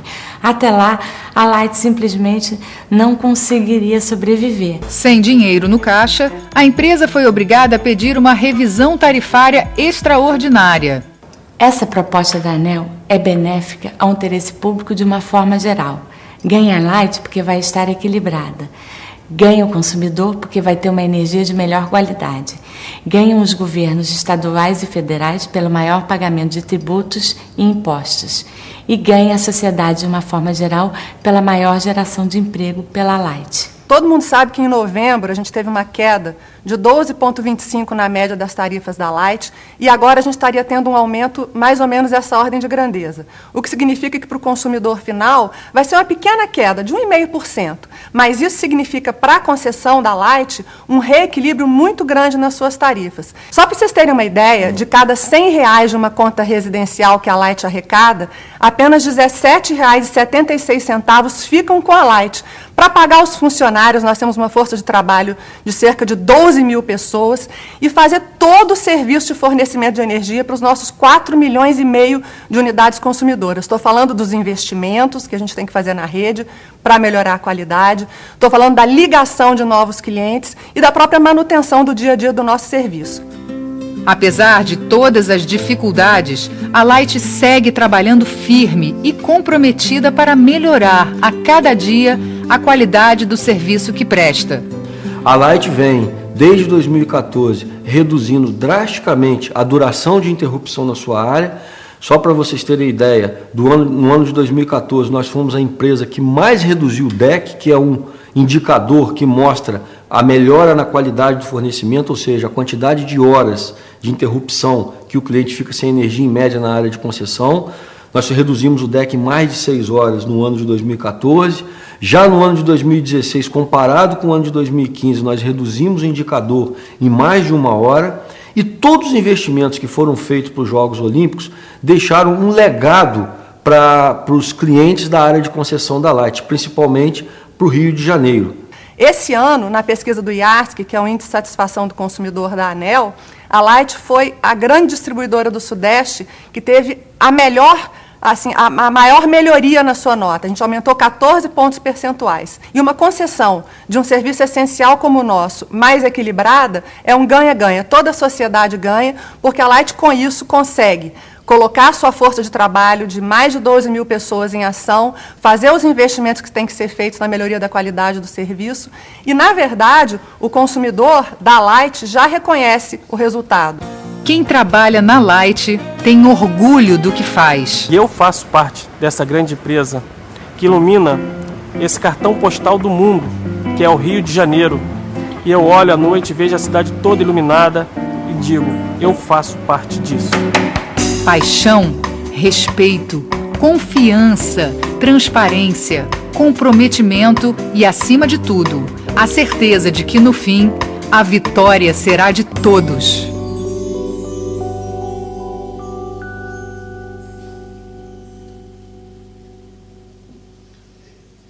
Bom, eu creio que esse filme já passa bem o recado né, do que é o nosso dia a dia. É, tem depoimentos de várias pessoas aí, desde empregados até um professor universitário, consumidores. Eu queria só fazer alguns, alguns pontos aqui que eu queria enfatizar com relação ao nosso pleito de revisão tarifária extraordinária. O primeiro deles, eu até já falei ali no filme, é, para o consumidor, o ideal é olhar o movimento de revisão tarifária acontecendo agora em março, de maneira conjunta com o reajuste tarifário que ocorreu no último mês de novembro. A gente sabe que o movimento não é uniforme entre as classes, mas, na média, a gente estaria tendo, nos números preliminares, como bem a ANEL enfatizou, uma pequena queda para o consumidor final, da ordem de 1,4% na tarifa, levando-se em conta os dois movimentos de forma simultânea. É, a Light até teria todo o interesse em que esses movimentos acontecessem de forma conjunta, lá na data de novembro, mas infelizmente isso não foi possível, então a gente vai ter dois movimentos tarifários muito próximos, um em novembro e outro agora em meados de março. Só para ressaltar, né, para o grupo A, que são os clientes de alta tensão, a gente estaria tendo, levando em conta os dois movimentos de forma conjugada, um aumento da ordem de 4,5% na tarifa, e para os consumidores de baixa tensão, também levando em conta os dois movimentos de forma conjugada, uma queda de cerca de 4,2%. Então, é, a gente, na verdade, também queria comunicar para vocês que, para distribuidora, a pior coisa que tem é aumento tarifário. A gente gostaria muito de ter uma tarifa mais baixa possível. Tarifa baixa significa que fica mais fácil combater o furto de energia, o incentivo ao consumidor furtar energia é muito menor com a tarifa mais baixa, e a própria questão da inadimplência, que foi enfatizada aqui pelo nosso diretor financeiro, que tanto penaliza a Light, ela também acaba sendo menor no momento em que você consegue ter uma tarifa mais baixa. A Light está fazendo a parte dela, nós estamos trabalhando muito firmes para reduzir o furto de energia na nossa área de concessão. Infelizmente, existe um pedaço da nossa área de concessão que hoje é inacessível para a nossa operação. Nós encontramos em algumas áreas severas restrições operacionais, mas nas áreas em que conseguimos trabalhar, a gente até tem tido interações muito próximas ao regulador, a gente já está com as nossas perdas comerciais abaixo do nível de perdas é, que hoje é contido na nossa tarifa. Então, a gente não se furta a fazer o nosso trabalho de uma maneira é, muito profissional, com muito foco em gestão, mas enfrentamos, e o próprio regulador reconhece, é, uma concessão que é classificada hoje como a segunda concessão mais complexa do Brasil. Mas isso não nos desanima, o trabalho de 2016 ele foi feito com muito afinco, é, os, dados, os dados de fechamento de ano ainda não foram divulgados ao mercado, mas a gente tem a agradável sensação de que cumprimos o nosso dever e que os resultados já mostram isso. Mas esse foi apenas o primeiro ano de uma gestão que mudou em final de 2015. A gente entende que tem muito trabalho pela frente, principalmente tendo em vista a dificuldade inerente de operação na nossa área de concessão. É, outro ponto que eu queria também é, enfatizar aqui, eu acho que a própria ANEL já colocou de uma maneira bem clara, é, essa revisão tarifária que a Light teria agora, é, no dia vigente a partir de meados de março, ela vem juntamente de, um, de uma assinatura, um aditivo ao contrato de concessão, que impõe à concessionária é, metas que, se não forem cumpridas em termos de qualidade do fornecimento de energia, em termos de sua sustentabilidade econômico-financeira, podem implicar até mesmo na caducidade da concessão. Mas, como eu disse para vocês, temos muita coragem, entendemos que vamos continuar melhorando ainda mais os nossos indicadores operacionais, o nosso DEC, o nosso FEC, e estamos combatendo incansavelmente o nosso furto de energia. O nosso processo de revisão tarifária ele é 100% aderente às normas vigentes da ANEL, ele é aderente à audiência pública que ocorreu no mês de agosto, que diz que aquelas concessionárias distribuidoras que quisessem voluntariamente aderir ao novo contrato de concessão poderiam sim pleitear uma revisão tarifária atrelada a essa assinatura do aditivo. Na verdade, tem um ponto apenas que a gente está ainda em discussão com a ANEL, que se refere à entrega do indicador de qualidade, principalmente do DEC, no ano lá de 2022. Nós estamos pleiteando ao regulador que DEC lá em 2022 não fique muito abaixo do nosso limite regulatório vigente atualmente, cerca de oito horas, dadas as severas dificuldades de operação que nós temos em algumas áreas da nossa área de concessão. Hoje o nosso DEC é de 11 horas e pouco, o DEC real, o DEC regulatório vigente é de 8 horas e pouco. O que nós estamos pedindo apenas é que se mantenha esse DEC próximo ao DEC regulatório vigente lá em 2022, Vamos trabalhar para conseguir entregar esse deck. São três horas de melhoria, é muito desafiador, mas menos do que isso, tendo em vista as nossas dificuldades de operação em algumas áreas da concessão, talvez seja algo agressivo demais para temos dois braços, duas pernas, muita vontade de trabalhar, uma força de trabalho unida aí de 12 mil pessoas, mas é muito trabalho e, às vezes, como a gente comentou, algumas áreas são até inviáveis de atuação por parte da concessionária. E queria mais uma vez enfatizar, a gente tem aqui representantes de vários, é, de vários segmentos da nossa sociedade, que o que se precisa do ponto de vista de fornecimento de energia é aquele pacto aquele pacto feito entre a concessionária e o consumidor. A concessionária tem sim que fornecer a energia da melhor qualidade possível a uma tarifa justa que é determinada pela ANEL, mas o consumidor tem a obrigação de pagar a sua conta em dia e não furtar energia. O furto de energia é algo que prejudica a sociedade como um todo. Eu queria só dar um número para os senhores, que é um número impressionante. O aumento de CMS só no mês de novembro, por conta da, sua, da atuação da Light no combate ao furto de energia, foi da ordem de 25 milhões de reais. Então, a Light, que é uma das maiores arrecadadoras do Estado, que arrecadou ao longo do ano passado quase 3 bilhões e meio de CMS para os cofres do Estado.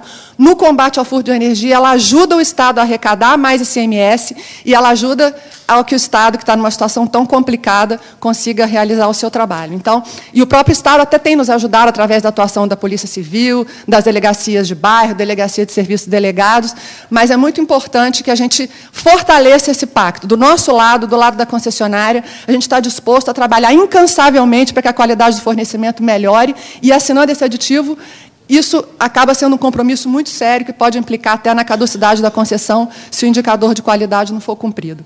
Então, é basicamente essa mensagem que a gente queria passar aqui para os senhores. Gostaríamos muito de estar falando aqui de uma queda de tarifa, mas, infelizmente, para, o equilíbrio da nossa concessão, que é muito importante, a gente teria, dessa forma, olhando os movimentos conjugados de novembro de 16 com março de 17, ainda assim, a despeito do equilíbrio enorme na concessionária, uma pequena queda para o consumidor final. Então, muito obrigada. A gente vai ficar aqui é, disponível para eventuais esclarecimentos que se façam necessários. Agradeço a ANEL pela oportunidade de esclarecer alguns pontos aqui. Tá? Obrigado. Obrigado, Ana. É, na sequência, para a terceira exposição, convido o presidente do Conselho de Consumidores, o senhor Fernando Cancela, para fazer as suas considerações. Deixa eu passar isso aqui para o.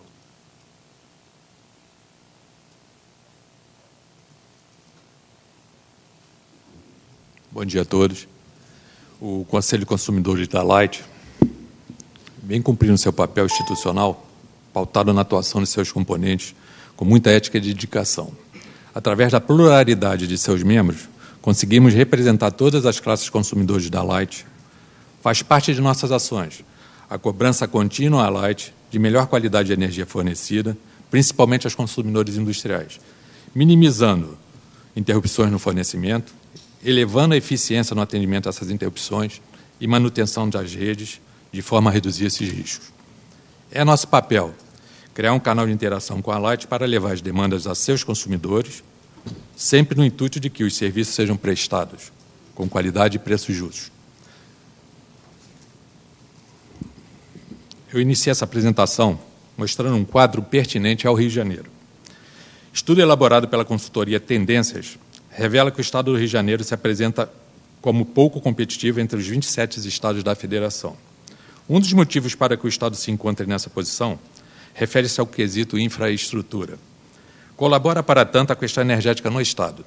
O Rio de Janeiro apresenta-se na 26ª posição, já foi falado aqui, entre os estados que possuem energia mais cara e 21ª posição entre os que possuem a pior qualidade de energia. Outro slide, por favor.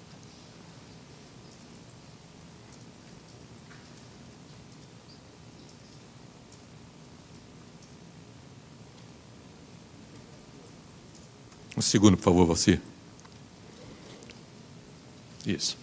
Outro ponto de extrema relevância, no quesito competitividade, de respeito à cobrança de tributos para os consumidores do Estado. Acima de 300 kW é cobrado um ICMS de 25%, somado ao percentual de 4% destinado ao fundo de pobreza. Somos campeões no pagamento de impostos. Slide 3, por favor, Valfir. Em meio a todo esse panorama, os consumidores da distribuidora Light terão que arcar com aumento médio de cerca de 12%. O consumidor de alta tensão, indústria e comércio, terá de assumir um aumento de 20,56 sobre seu insumo de energia. Em um momento de desaquecimento econômico, qualquer elevação nos custos de produção agrava-se a perda de competitividade. O percentual de aumento da Light está composto por três blocos. Entende-se de que a parte desse aumento advém de custos que não são de responsabilidade da concessionária. São custos que aparecem sob a chancela da parcela A. No entanto, é necessário que a ANEL apresente com mais clareza e transparência o impacto dos custos da parcela B, de responsabilidade da distribuidora, por cada nível de tensão, visto que existe uma diferenciação entre o que é cobrado para alta e baixa tensão. Slide 4, por favor, Alcir. A audiência de hoje também trata dos parâmetros para assinatura do termo aditivo contratual. Nosso foco está nas propostas de qualidade de energia. A distribuidora pede que o limite do indicador DEC interno seja flexibilizado. Ora, os clientes da Light têm sofrido há décadas com baixo nível de qualidade. A indústria fluminense tem constantemente internalizado custo com falha na interrupção e no nível da oscilação do nível de tensão. Desculpe. Dessa forma, não é aceitável que se reduza o nível dos limites da qualidade da energia nos próximos anos. A ANEL emprega uma metodologia já amplamente estudada para a definição desses limites, que segue uma tendência de melhoria na qualidade, a qual deve ser empregada. Não é factível que se adote metodologia alternativa para o recálculo do, do limite do DEC interno. Slide 5, por favor, Alcir. No que se refere ao nível de perdas técnicas, não técnicas, a distribuidora solicita uma nova repactuação do repasse das perdas regulatórias. Esse benefício já foi oferecido à distribuidora no momento da revisão tarifária no ano de 2013. Não é justificativa para uma nova repactuação o aumento da complexidade social de sua área de concessão, visto que o risco dessa complexidade está associado ao negócio da empresa. E o combate de perda faz parte da eficiência de sua estratégia de gestão. Os consumidores cativos e regulares já aceitaram um repasse maior das perdas não técnicas no intuito de verificar uma melhoria no fim de 2018. Esse comprometimento deve ser mantido. Slide 6, por favor. Não 6, esse é o, é o anterior. Por fim, as ponderações finais vão no sentido de que a ANEL leve em consideração o pleito de todos os consumidores cativos e regulados. Pelo lado da indústria, solicita que a agência reveja as variáveis que impactam a alta tensão, levando a um aumento insustentável para o setor produtivo nesse momento. Considerações finais? De fato, existem grandes desafios a serem resolvidos na área de concessão da Light. No entanto, a proposta de flexibilização dos índices de qualidade e repactuação dos níveis de perdas regulatórias feita distribuidora implica em significativo ônus para todos nós consumidores. O fornecimento de energia com qualidade e a gestão compare as perdas fazem parte do negócio da distribuidora. O panorama social de sua área de concessão faz parte do risco de concessão. E os consumidores cativos não podem ser penalizados por isso. Falo de consumidores formais. A repactação das perdas resulta em distorções do mercado. A ANEL deve primar pelo bem-estar dos consumidores regulares e evitando a alocação de subsídios cruzados. Solicita-se que a ANEL reavalie e apresente novas simulações para a proposta de flexibilização dos parâmetros de qualidade e que estude uma nova condição para as perdas não técnicas, visto que seu efeito ampliaria distorções, comprometendo ainda mais a competitividade do Estado do Rio de Janeiro. Essa é a contribuição do Conselho de Consumidores da Light para essa audiência pública. Obrigado. Obrigado, Fernando. É, então, feitas as apresentações que estavam previstas passamos a ouvir e registrar as sugestões e propostas dos expositores inscritos. Assim, de imediato, dou a palavra para o primeiro expositor, o senhor Herman Dinaldo, que é o vice-presidente da plenária de Conselhos Urbanos e Rurais de Itaguaí. Ele não está...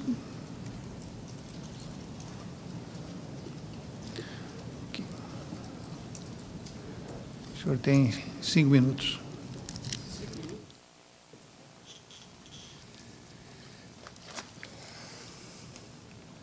Bom dia, meu nome é Herman Ferreira, como já foi feita a minha apresentação. Além de ser o vice-presidente, sou presidente do Conselho Comunitário do Engenho, que é o mais populoso do município de Itaguaí.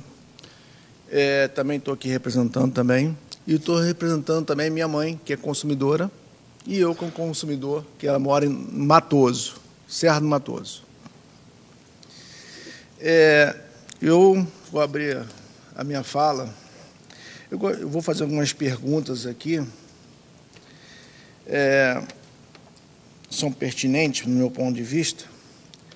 É, qual a distância de um poste para o outro? Qual a distância entre um poste ao relógio? Depois você vai entender por que essas perguntas. Qual o tempo de, de vida do poste de madeira que nós temos no perímetro urbano do nosso município? Qual a, na área rural também? Qual a distância entre um poste para entre dois, que forma de Y? A manutenção programada tem que comunicar aos consumidores? Eu já sei já algumas respostas, mas eu queria ficar registrado. Eu queria saber qual o peso do, do fio de alta tensão, qual a distância de fio de baixa tensão, de alta tensão aos imóveis, da, da sacada ou da janela. É, de quem é a responsabilidade dos fios da Oi? Eu sei que é uma concessão, entendeu? É, pode colocar poste no meio do mato, dentro de propriedades particulares? É, deixa eu ver aqui. E uma, eu queria fazer uma perguntinha a Anael aqui. É, existe prazo para a Light responder? Quando se faz a, o caminhamento a Anael? É, tem outra pergunta. Quando se encerra o protocolo junto à Anael? É, é depois de quê? É depois da, o, o, consumidor ou depois que a, a Light dá o parecer? Tá? É, os indicadores da, da, da Light estão sendo verdadeiros? Tá? Então, estão várias perguntas, são muitas perguntas, mas eu, como tenho cinco minutos, tá? eu já, deixar bem claro, deixar registrado aqui, apresentei umas fotos para a senhora Josiane e para o senhor Tiago, eles ficaram assustadores, na é verdade, entendeu, em relação aos fatos. Apresentei as fotos, eu não sei, eu esqueci, sou Ronald, que é diretor de comunicação, não é isso? E a presidente que não tinha ciência, agora estão tendo ciência, tomaram um susto. Tá? É, eu vou apresentar aqui o seguinte, eu vou, não vou dizer não, vou ter um provas aqui. É, no município, no bairro do Engenho, por exemplo, vou começar pelo bairro do Engenho, nós temos fios de baixa tensão, de alta tensão, passando, passando por cima dos imóveis. Encostado no telhado, e uns encostados no telhado, por cima dos imóveis. Nós temos fios na sacada, meia de um metro. Meia de um metro da sacada. Nós, nós temos postes, vai fazer 30 anos, postes de madeira, 30 anos e agora em agosto. Entendeu? Mostrei aqui para eles aqui. Nós temos postes fazendo papel de torre, com distância de mais de 300 metros. Entendeu? que eu sei é 40 metros, me corri se estiver errado, mas ainda aceitava ser mais de 100 metros. Tá? Interessante, nós temos, eu tenho, agora eu vou falando, tá, fala matoso. A minha mãe, eu tenho dezenas de protocolo. E eu tive o um absurdo semana passada, que quarta-feira já vem reclamando já várias vezes, junto a Light, tá? Junto a Light, que é, o, a boneca do transformador, o pessoal fala boneca, não sei os termos técnicos, mas a boneca do transformador está soltando toda hora, não somente do, do, transformador, do trafo rural, como é identificado, que é uma área rural, mas é uma área rural que tem posto saúde, tem colégio, nós temos restaurante, nós temos chalés, nós temos transporte coletivo, nós temos é, transporte de alunos, nós temos igrejas, entendeu? E temos, tem, temos proprietários, nós temos advogados que moram lá, nós temos é, artista de televisão. Então, é uma área que tem um quantitativo suficiente. Então, eu, tô, eu vou explicar a, o que está acontecendo lá. a, a incompetência, digo não, eu tenho provas aqui, a incompetência de gestão, isso não estou falando da senhora, não, gestão da, da coordenadoria e da gerência da Zona Oeste do Rio de Janeiro, que fica em Jacarepaguá, é absurda. Se eu fosse presidente, eu tinha mandado os dois embora. Entendeu? Não, estou falando que você é o gestor da, da parte dos consumidores. Entendeu? Eles tinham que ser mandados embora. Porque eles estão. Para você ter ideia, sabe o que tiveram a capacidade de fazer? Tiveram três vezes minha casa para ver se tinha gato. E a última vez tiveram capacidade de cortar meu cadeado. Já tinha feito isso antes. Eu processei a lá de ganhar a causa. Tá? Ganhar a causa. E foram lá na minha mãe, para ver se tinha gato lá também. Isso eu sou capaz. E outra coisa também. Vocês estão falando, vocês estão falando aí é, de gatos. Eu queria saber da parte da Light se a maioria dos gatos fica na Zona Oeste. Se fica, será que os coordenadores e, o gerente estão tá coniventes com esses fatos? É uma pergunta que eu queria fazer. Agora vou dizer uma coisa. No Matoso precisa de poda. Ano passado não teve uma poda lá no Matoso. Se parecer da medição de vocês, é, é, mentira, é falsa. Tá? Deixa bem claro isso. Tá? Deixa bem claro isso. Tá? Então, eu tô, estou tô explicando isso a vocês, começar a levantar o que está acontecendo. Eu tenho aqui, eu vou ler. O bairro do Engenho, o bairro do Engenho, o bairro do Engenho, só vou finalizar aqui. Eu, nós temos umas, umas situações absurdas acontecendo lá. Você o, o poste estava podre, pêndulo. O, o coordenador Zonete falou que estava bom. Falou que estava bom, estava ótimo. Eu botei a matéria no jornal, eles foram lá trocar os postes. Só dessa forma. Senhor Herman, senhor Entendeu? Poderia tá bom? Tem várias outras situações absurdas, tá? Muito obrigado. Desculpa atrapalhar vocês de trazer companheiros, tá? Mas é, é, tem muita coisa aqui. Eu queria até ler o documento da própria lá, diz que tem que trocar, tem que fazer manutenção. Entendeu? É isso. Tá bom? Muito obrigado. Obrigado, senhor Herman. É, na sequência, convido a senhora Domênica Noronha, consumidora.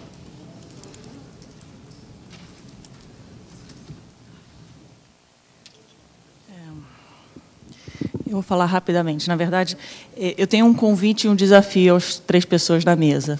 Peguem o uniforme da Light, se vistam de uniforme da Light, Peguem uma prancheta, uma máquina fotográfica e entrem na Maré, na Rocinha, na Cidade de Deus, para dizer assim: olha, vou fazer uma inspeção aqui para regularizar a situação. Eu tenho certeza que vocês três não entrariam, por segurança mesmo, ficariam com medo. Eu entrei no Borel, entrei na Rio das Pedras, já visitei a Maré. Você só entra, sinceramente, com uma pessoa da comunidade ou para visitar uma instituição de caridade ou o que seja. Essa é a realidade. Então, eu acho que as pessoas têm que encarar a realidade de que são comunidades que o poder público não atua. Se, o, se, a concessionária de correio não pode entregar carta, como você pode obrigar a Light a prestar um serviço lá? Vocês não teriam coragem de entrar nessas regiões. Eu acho que isso precisa ficar bem claro. E a ANEL precisa ter a coerência e também acabar com essa hipocrisia de achar que a área da Light é única. Na verdade, eu gostaria de solicitar que a ANEL considerasse a área de concessão da NIT dividida, com as áreas que são possíveis de atuação e as áreas não possíveis de atuação. Isso afeta tudo. Então, as métricas que a gente está discutindo, de DEC e FEC, por exemplo, elas precisam também ser divididas. As áreas que a, que a Light pode atuar, eu concordo, precisam ser melhoradas. Não faz sentido em Copacabana ter gatos de 20%, 30%. Se em Copacabana, nas regiões que a Light possam atuar, tem 20%, 30%, que ela seja incentivada a combater essas perdas. Mas se ela tem é, perdas de baixa tensão de 90%, a gente está falando de perdas de 90%. Em regiões como a Maré, como é que ela pode atuar lá? O poder público não entra. Se você tem atuações que saiu no Jornal Nacional, até ganharam prêmios, né? 24 horas, a favela da Maré foi cercada, desculpe, do Alemão, foi cercada durante muito tempo, forças militares blindados do Exército, da Marinha. Então, durante aquelas 24 horas, se a luz fosse cortada, a Light seria punida por esse corte? Então, eu acho que isso tem que ser coerente. E isso não afeta só Light, acho que é importante dizer que isso afeta a Ampla, região de São Gonçalo também, extremamente violenta. Existem outras concessionárias que têm violências, têm questões de violência muito é, prevalentes. Eu acho que muitos consumidores vão reclamar do alto custo de luz, todo mundo sabe disso, mas a parcela que é realmente devida da Light é muito pouca. Né? Sejamos coerentes que houve erros regulatórios muito grandes, a bandeira tarifária que devia ser é, instituída no começo de 2014 foi passada para 2015, e ainda tem outros senhores que muito bem sabem que ainda vão entrar. Né? A gente tem, por exemplo, erros que foram cometidos para empréstimos compulsórios de Itaipu, que as, as empresas estão ganhando na justiça, é uma conta bilionária que vai chegar. E, dado as questões fiscais do governo, a gente sabe que vai acabar tudo no consumidor. Então, acho que é importante sermos coerentes, que os efeitos financeiros, muitos já estão sendo implementados e outros ainda estão por vir. Então, meu pedido ao ANEL é para parar com essa hipocrisia. A questão do ar-condicionado foi pedida já em 2012. Tudo bem, vocês talvez não consigam fazer, mas todo mundo sabe disso. Eu entrei no Borel. As pessoas deixam lâmpadas ligadas porque não tem iluminação pública. As pessoas deixam o ar-condicionado ligado pelo prazer de chegar em casa com o ar-condicionado ligado. São muitas vezes ar-condicionados de parede, são os que mais consomem energias. Eu fui. Todo mundo vê isso, essa é a realidade. Uh, então, eu gostaria de pedir que, quando fossem feitas as métricas e, e, análise da área de concessão, fossem levadas em consideração as áreas que realmente possam ser passivas de atuação e as que não sejam. E também atentar que as políticas de segurança do Estado, como as UPPs, estão retraindo. Então, existem áreas, por exemplo, Cidade de Deus, que a própria UPP já diminuiu. Então, quer dizer, o próprio Estado ou está diminuindo a sua atuação de segurança pública ou tem as questões financeiras. E, por último, desculpe, eu queria só mencionar isso, é informação pública, coisas de jornal. Você tem questões, por exemplo, o Estado deixa de pagar a luz. Mas sabe como é que o Estado deixa de pagar a luz? Ele paga da área administrativa, porque as pessoas não querem que a área a corte de luz na área administrativa. E deixa de pagar quem? Hospital, escola, é, juiz. Então, que juiz vai dar uma liminar para a Light para você cortar a luz de hospital, escola? Mas a área administrativa que poderia ser cortada, ele paga. Então, essa é a realidade. Então, eu gostaria que isso fosse, pelo menos, é, reconhecido pela ANEL. Eu sei que é uma questão política difícil, mas que isso é, fosse levado em conta nessas métricas. Por que, que eu falo isso? Porque eu acho que a gente precisa ter coerência de que, para ter bom serviço, para ter uma concessionária sólida economicamente, a gente precisa desse tipo de atuação. E sejamos coerentes, hoje a Light está de pé não pela distribuidora da Light. Quem está financiando a distribuidora da Light são os ativos de geração. Então, a ANEL diz que, quando olha para a Light Companhia, ela olha para a distribuidora geradora separada, mas quem tem financiado a distribuidora é os ativos de geração. Então, quer dizer, se a Light não tivesse os ativos de geração, ela já teria tido um problema financeiro muito sério. Então, acho que isso precisa ser, de fato, encarado. A questão do ar-condicionado foi pedida em 2012. E, e, engraçado que eu, eu, vi a apresentação da Light, vi os comentários, e a resposta da Nelson, não podemos parametrizar ar-condicionado.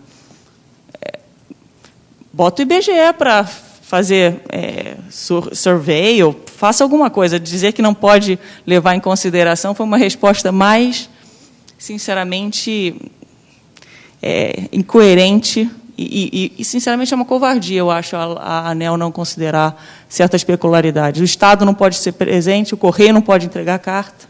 Bem, estou direitinho. Muito obrigada. Obrigado, senhora Domênica. Eu convido, na sequência, o senhor Rubens Muniz, que é presidente do Conselho de Representantes Regionais da Firjan.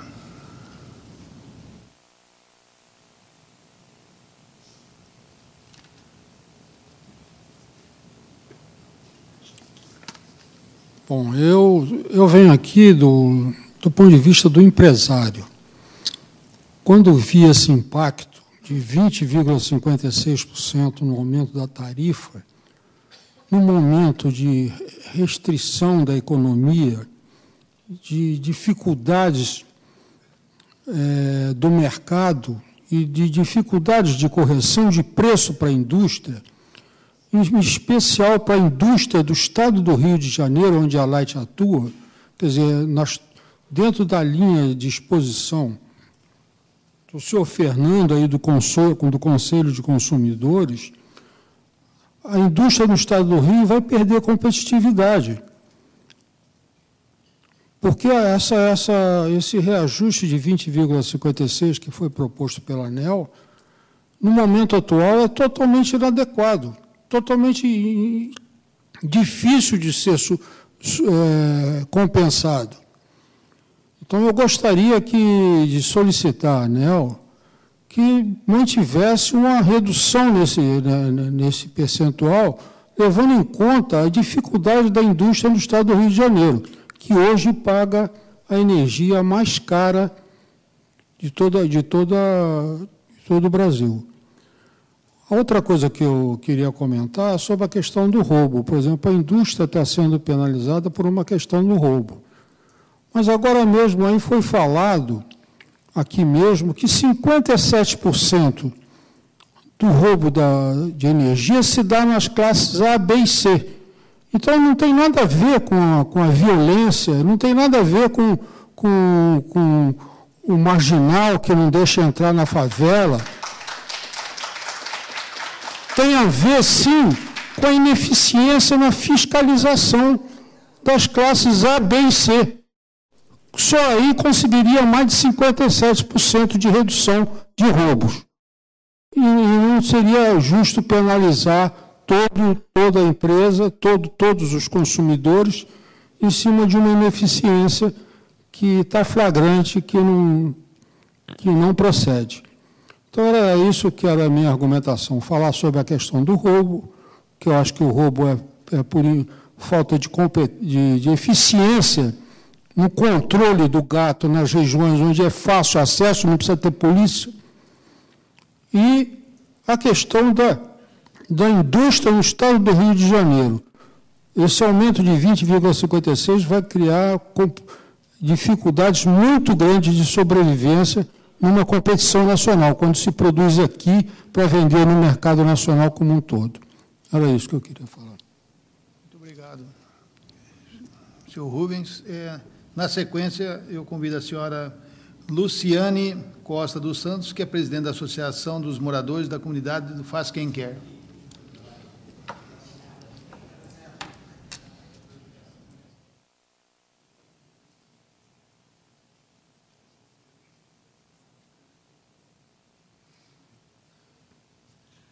Bom dia, bom dia, mesa, bom dia de novo, presidente, bom dia aos companheiros. Então, é, a minha vinda aqui hoje é para saber, que eu queria saber né, da mesa, assim, por que, que a gente está ficando dentro da comunidade é, de 5 a 10 dias sem energia, já que a gente tem consumidores protocolados dentro da comunidade. Antigamente, há uns dois anos, pouquinhos atrás, a gente conseguia esse atendimento com mais rapidez. Né? Através do conselho, através da ajuda dos companheiros, a gente conseguia é, ser atendido com, com mais rapidez, porque a associação dentro da comunidade, pelo menos a minha e as dos demais companheiros que aqui presentes estão, elas dão todo o aparato e respaldo à companhia da Light dentro da comunidade. Né? Eu, eu faço a minha parte, os demais companheiros fazem a parte deles, a gente não tem problema algum com o serviço da Light dentro da comunidade. E de uns dois anos para cá, tem acontecido isso com frequência. E a gente não sabe o que falar para aqueles consumidores que pagam a companhia.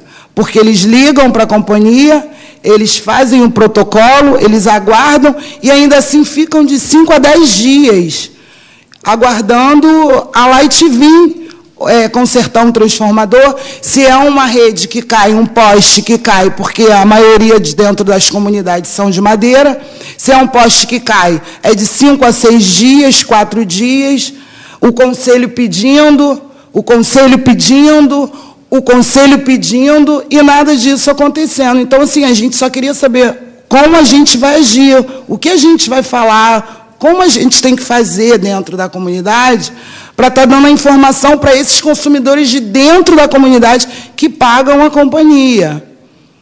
Entendeu? É, só até aqui. Obrigada. Obrigado, senhora. É, na sequência, eu chamo o senhor Gilson Rodrigues de Araújo, que é o vice-presidente da Federação Municipal das Associações de Favela do Rio de Janeiro.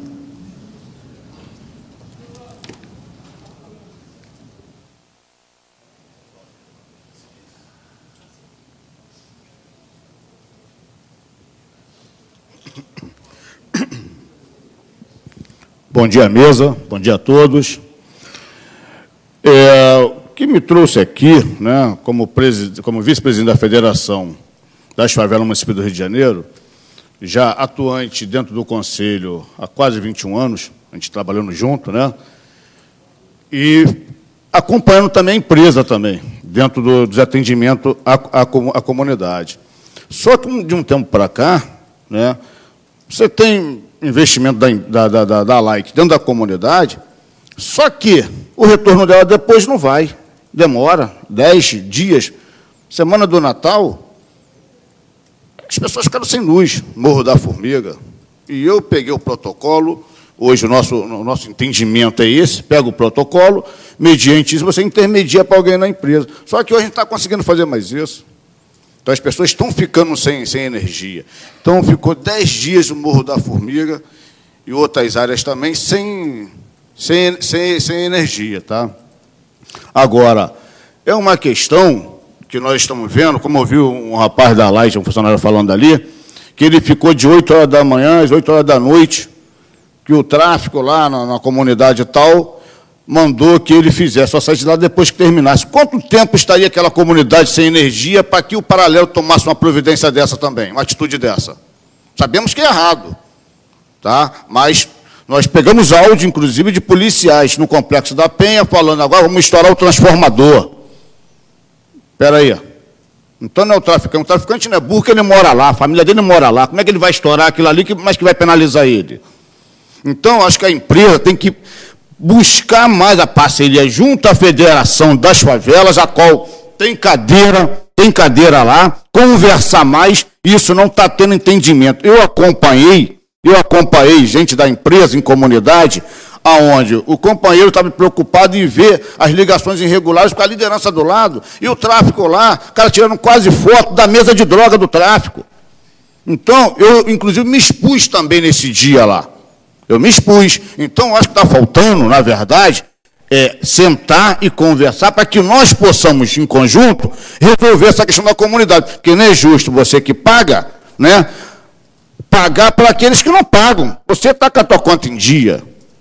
Tá? Então, essa é a nossa voz da Federação das Favelas. Eu acho que a empresa ela tem que ser parceira, tem que investir mais no social, nas comunidades. Isso não acontece.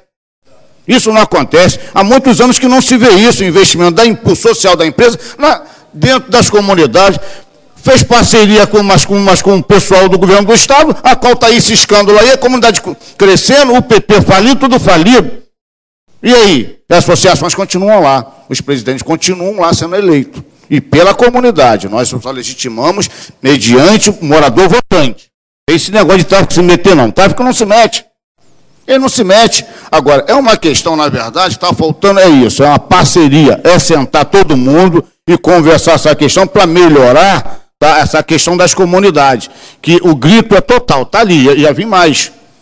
Por questão de trabalho, então não puderam vir. Mas a verdade é essa, temos que buscar Light tem que ser parceira, tem que sentar com a federação, tem que sentar com o próprio conselho e ouvir que tem representante lá. Nós somos o quê? Somos bonecos? Então a gente vai lá, todas as agendas, chega, a gente vai lá, senta lá, discute as questões, mas cadê? Não se tem parceria, você continua ligando. Eu mesmo, pouco tempo atrás, eu falei, Ercos, eu não vou mais fazer contato não, estou me sentindo um boneco, não está sendo mais resolvido. Não está sendo mais resolvido. Então, gente, é isso. Não tem esse negócio que tráfico para, tráfico não para. Inclusive, semana passada eu escutei isso, dentro do morro, sou do Morro do Turano, a lá está trabalhando lá, tem uma parte que, segundo, está parado porque não tem recurso para poder fazer. Não tem recurso, não, Gilson, é, parou aqui que não tem recurso para poder fazer. A liderança passou para mim isso lá. Pô, não tem recurso, 95% vai ficar um pedacinho da comunidade sem ser contemplada? O que está acontecendo? Está entendendo? Então, é, essa é a nossa fala. Nós temos que estar tá junto ali. Tá? Estamos companheiros ali, estão sempre me ligando. O pessoal, o pessoal lá da, da comunidade, lá do Escondidinho, eu fui lá dois, há, um ano e meio atrás, fui ver os postes lá com o companheiro, com um amigo da Light, os postes continuam lá. Eu tive em reunião com o pessoal ontem, que a gente está vendo a questão da, da privação da, da, da, da, da SEDAI. Então estava lá o pessoal reclamando também da Light. Então nós temos que estar tá juntos, tem que lutar. E aquilo ali amanhã vai se tornar é, uma indenização para um morador que vai cair aqui na cabeça do, mais do morador, o poste está perigoso, está pendurado o poste. E a Light não vai lá resolver. A liderança abriu lá. Os moradores desceram para a palestra. Desceram para a palestra. Só que, na verdade, está entendendo, gente? E outra coisa, nós estamos às ordens, Light. Estamos lá, parceiro.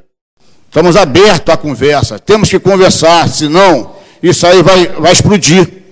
E quem vai pagar é o funcionário, infelizmente. Que nego vai resgatar funcionário na pista realmente. Não precisa ser na favela, lá na pista, que aquilo lá é rua, não é dentro da favela, não. Foram buscar o carro lá na frente, lá. Agora, se buscar a liderança, vai ser feito. O funcionário da Light vai entrar, vai sair, sem ter o sistema emocional dele abalado. Eu tenho certeza disso, eu já acompanhei isso dentro do Turano, tá? Obrigado, gente. Bom dia para todos. Obrigado.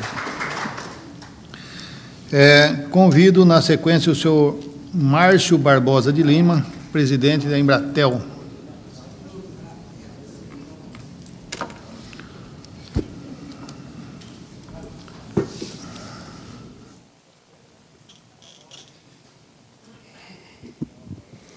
Bom dia a todos. Meu nome é Márcio, presidente da Associação de Moradores da Embratel, no Complexo de Manguinhos. É... A minha primeira fala aqui, como eu vim ouvindo a Light falando, a Anatel, tudo, eu gostaria de falar o seguinte para a Light. O dia que a Light, eu quero saber qual foi o dia que a Light entrou em contato com a comunidade ou quis entrar dentro da comunidade que ela foi impedida. Nunca aconteceu nem vai acontecer. Traficante nenhum da favela vai impedir ou prender alguém da Light para prestar teu serviço, que não vai prejudicar ele não, vai prejudicar os moradores. Quem manda na comunidade não é os traficantes, é os moradores, que são a maioria. Porque o dia que um daqueles traficantes lá impedir light, água, luz, esgoto, gás para os moradores, ele não consegue ficar lá. Porque a polícia no dia seguinte ou no mesmo dia vai lá e acha ele. Porque denunciam, pegam ele, faz o que for. Qualquer traficante, qualquer bandido dentro de uma comunidade, ele é impossível dele fazer alguma coisa que ele prejudica a comunidade. Porque ele não consegue viver lá dentro. Porque ele come, dorme e acorda lá dentro. O dia que ele deixar de a pessoa ter água, luz, essas coisas, ele não vive lá dentro. Então essa história que o traficante impede, faz isso aquilo, é mentira. É mentira. O que falta é caráter, vontade de trabalhar e de fazer. Porque a gente está dentro de uma comunidade, como uma pessoa que trabalha aí, tem quatro, cinco filhos, ganha um salário mínimo por mês, vai pagar uma conta de 300, 400 reais. É impossível. A Light vem falando, não tenho, não tenho recurso, não tem. Como não tem? Está o, o, o benefício que ela já ganhou desde 2013. Para onde foi isso? Aí vamos botar uma conta rápida aqui a comunidade não paga? Tudo bem. Vamos supor, a, vamos dizer aqui, a comunidade paga a conta de telefone, a comunidade paga a conta de internet, de TV a cabo, a comunidade evoluiu, as pessoas estudam, as pessoas trabalham, as pessoas se formam, sai médico, enfermeiro, pagodeiro, jogador de futebol, sai tudo de dentro da comunidade. Então a comunidade evolui. E quem é, tem a raiz de dentro da comunidade, ele quer ver o melhor lá. A Light não faz investimento nenhum dentro de comunidade nenhuma, ela não tem interesse nenhum de fazer investimento em comunidade nenhuma. Os postes estão lá há mais de 30 anos, os fios estão tudo lá em pedaço em pedaço emendando, já chegam lá e faz um paliativo. Em um poste de outro, a metragem é 30 metros. Em 30 metros tem cinco emendas. Aonde que vai ficar a energia ali? A Light chegar lá com certa em um dia, no duas, três, quatro horas depois, o mesmo fio arrebentou. Porque faz um paliativo, aí fala, não tem material, não tem material. A empresa que praticamente que mais arrecada no Rio de Janeiro, a gente paga a conta de luz mais cara do Brasil. Eu garanto e faço um desafio aqui para a Light. Na, no Rio de Janeiro são mais de 200 comunidades. Eu estou falando de Manguinho, complexo de Manguinho são 100 mil pessoas. Eu sou presidente lá há 17 anos. Eu faço um desafio para vocês, se botar um valor de uma mensalidade num valor de 70 reais, eu aposto para vocês que 80% vão pagar. Eu desafio vocês falar que isso não aconteça. Porque a pessoa quer ir num banco, chega lá, pede uma conta de luz, quer um, mostrar o endereço dela, um comprovante de residência, as pessoas não têm. Elas vão aonde? Na associação de moradores pedir uma declaração de residência. A pessoa quer ter identidade, quer ter um endereço fixo, não tem. Aí vem falar a questão do correio. O correio entrega a carta assim, está lá a associação cheia de carta. Quando eles não acham o endereço, eles deixam lá com a gente, a gente entrega. Acontece que o endereço está incompleto, a gente entrega porque a gente conhece. É uma coisa diferente de falar que o correio não entra. Entra, porque se a correspondência não chegasse lá, como a conta de luz chega então? A conta de telefone, de light, de luz, de, te, de internet, chega tudo. A pessoa hoje, vou falar os valores que tem toda a comunidade aí que você pode fazer o levantamento. TV a cabo, o pessoal paga em média 70, 50 reais. Telefone, em média 80, 100 reais. Por que a pessoa não vai pagar 80, 70 reais de luz? Vai pagar sim, as pessoas querem pagar. Eu duvido que as pessoas não querem pagar e vão falar, eu tenho um gasto, tenho um gasto. Agora vamos fazer uma soma, estou falando só de Manguinhos, de 100 mil moradores. Fora que tem Complexo do Alemão, Rocinha, Complexo da Penha, Complexo da Pedreira, e Complexo do Lins e por aí vai. 100 mil moradores em Manguinhos, fora as empresas que tem lá, Fiocruz, Refinaria de Manguinhos, tem os Correios, que é a central dos Correios é ali dentro de Manguinhos, a Fiocruz é dentro de Manguinhos, tudo dentro de Manguinhos. Vou falar, se botar a 70 reais de média ali dos moradores, de 100 mil, vai dar uns 70 milhões. Não dá para comprar material, não dá para pagar funcionário. Se quem não, hoje em dia não está recebendo nada, se cai 70 milhões na conta, nossa senhora, é coisa para caramba. Aí vem com desculpa que não consegue receber, que não consegue fazer serviço. Eu duvido que um dia que a Light fazer um, uma parceria real não é uma parceria de jornal, de te, matéria televisão, não. Com a comunidade, a associação de moradores está aqui. A gente chega lá, o funcionário da Light ele entra e sai, começa ali, está falando, o traficante me pediu. Sabe por que o traficante está impedindo? Que eles falam que tá, o traficante pedindo? Não, não, é moradores. Porque a gente liga, tem um protocolo, faz o pedido. Quatro, cinco dias a pessoa sem luz. Aí tem pessoas que é camada lá com o aparelho ligado, como é que fica?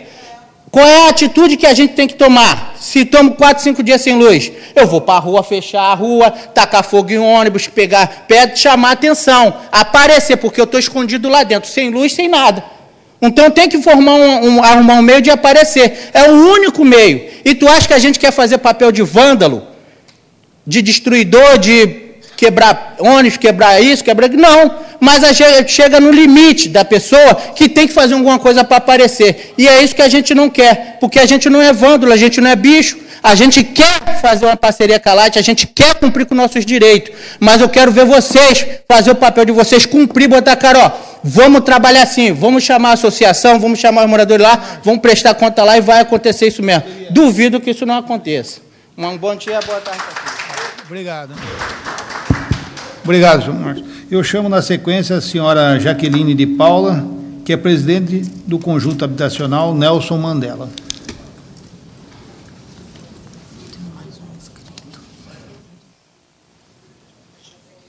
Bom dia, bom dia pessoal da mesa, bom dia, meus amigos. Eu queria falar com a, a presidente da Light, que eu queria que a senhora se botasse um pouco no nosso lugar. Queria que a senhora fosse um pouco. Estou convidando a senhora para ir na nossa comunidade, porque o tráfico não manda na nossa comunidade, porque nós fomos eleitos pelo morador. Primeiro, foi falado aqui que classe B, classe A, classe não sei o quê, é, tem roubo de, de furto. Com certeza tem, na nossa comunidade também tem. Só que lá foi falado também que fica duas horas, dois, uma hora sem luz, nós fica dez dias, cinco dias. Se não fossem os amigos do conselho, que a gente enche o saco deles de manhã, de madrugada, toda hora, a gente já tinha fechado a rua, não para fazer baderna, porque a gente somos de favela, mas não vamos fazer baderna. Assim, a gente só estamos aqui, não é para só dar porrada na light, não, é para convidar vocês para ir para a comunidade. Lá também tem pessoas que pagam, nós estamos aqui falando em cima de protocolo.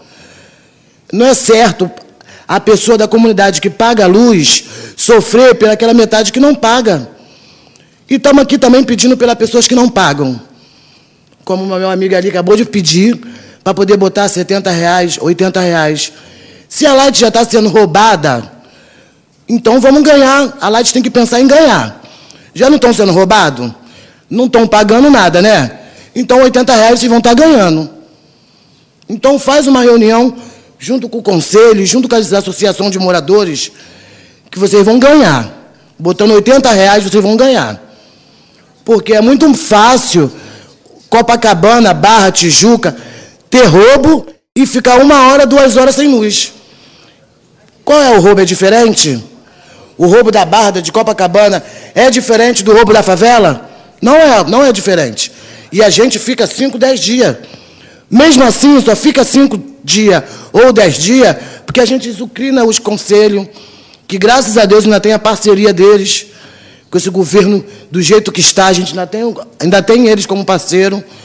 Dois anos para cá, nem eles estão podendo ajudar a gente, porque antes a gente não ficava isso tudo. Mas agora não sei o que está acontecendo, que de dois anos para cá, até eles estão sofrendo em ajudar a gente. Aí estamos pedindo, pelo amor de Deus, nós estamos vindo aqui pedir, pelo amor de Deus, a parceria da Light junto com o Conselho e as associações de moradores. E eu agradeço. Obrigado. Obrigado, senhora. Eu convido o senhor Francisco de Assis Trajano de Oliveira, que é o presidente da Associação Samura Marchel.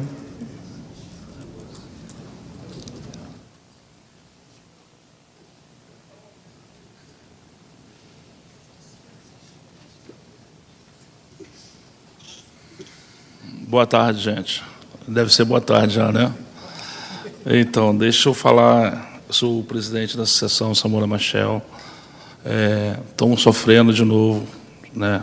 De novo não, já tem muito tempo já que vem sofrendo já com isso, uns dois anos.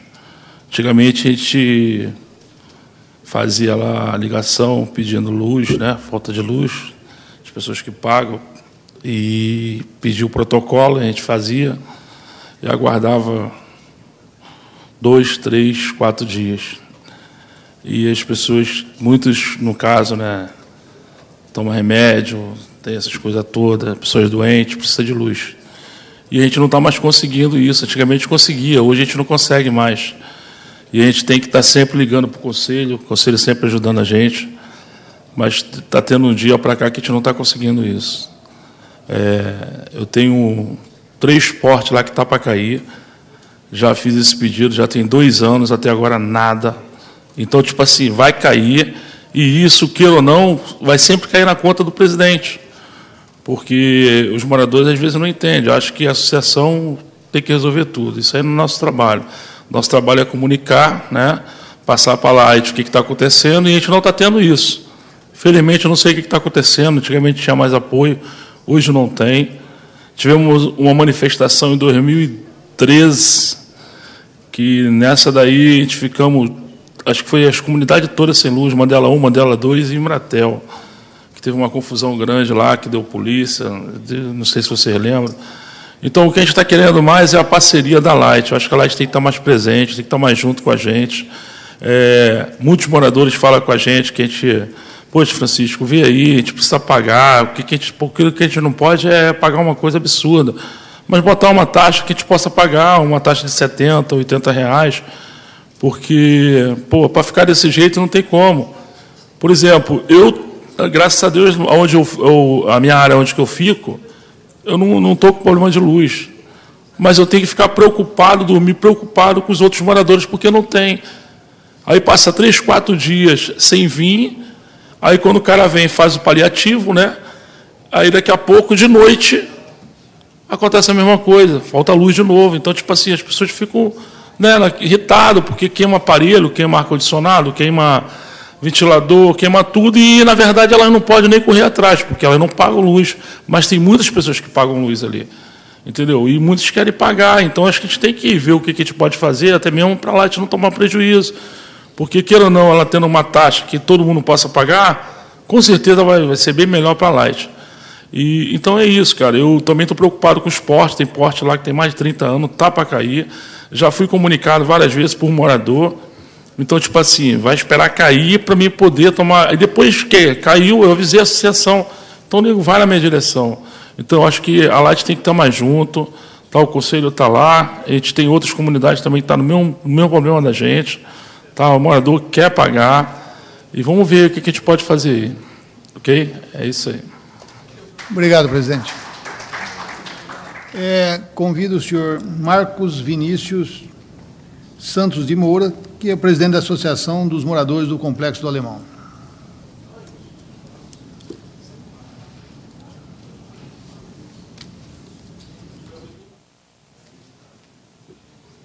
Bom dia. Bom dia, bom dia a todos. É, viemos aqui também procurar um meio de ajudar a comunidade, né, porque está um caos, né? Dizendo aí a palavra aí que a Light está funcionando, não está. Porque no início começou a usar os presidentes das associações para poder botar o sistema novo. Foi posto o sistema novo. É transformador esquemado, é polda de árvore, árvore caindo. Eu demorei até chegar hoje nessa reunião que eu fui convidado pelos nossos amigos aí, pelo motivo que fizemos um pedido para poder retirar uma árvore que estava em cima da rede elétrica não foram e a árvore está lá caída. Tem alguns moradores sem energia. E sob o fato também de é, os postes, né, obstruindo passagem, que eles colocaram o sistema novo, mas não retiraram os postes velhos. Há mais de 15, de 15 postes entre de madeira caindo na casa de moradores e mais polda de árvore para ser feita. Ou seja, se o serviço estivesse funcionando, nada disso estaria acontecendo. Então, a gente só pede para a Light ter uma parceria com as comunidades, ter essa caminhada junto para poder evitar esse transtorno. Porque no início começou a funcionar, mas chegou no objetivo, acho, da onde a Light queria, né? E as coisas começaram a parar. Pedimos para que comece a caminhar com a gente e que as coisas funcionem, porque não está funcionando nada, nada está indo corretamente. E as contas estão vindo alta. E moradores, quando pedem em cima do protocolo, como de fato a, palavra são as mesmas, de 10 a 5 dias para poder ser atendido. Então, acho que o recorde de audiência de, de, de processo está dentro das comunidades.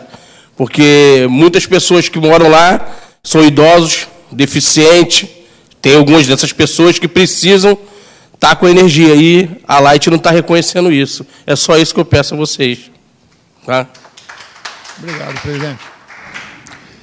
Convido o senhor Paulo Raimundo Barbosa, que é o presidente da Associação dos Moradores de Manguinho.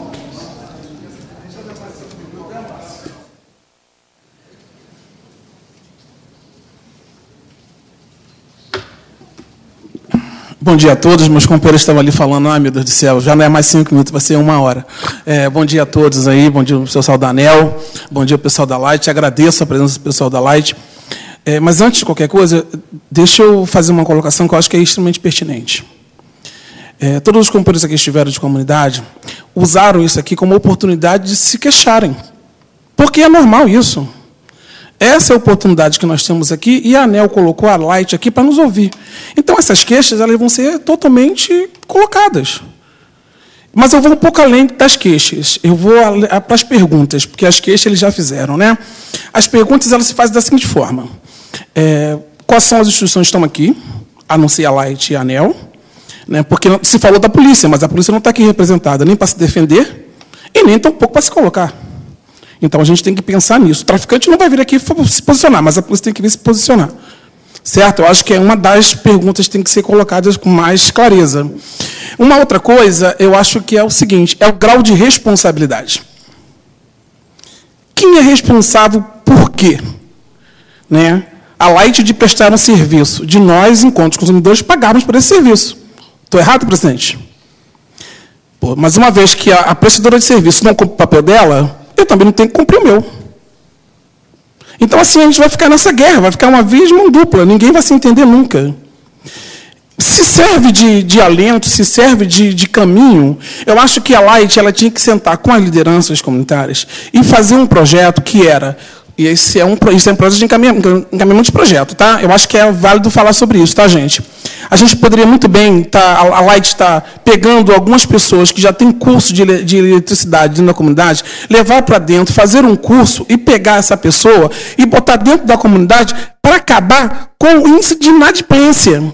Porque o morador da comunidade, uma vez pela Light, ele consegue persuadir aquele cara a não errar mais, a não pecar e não roubar mais energia elétrica. Mas tem que ser um cara da comunidade, não tem que ser um cara de fora.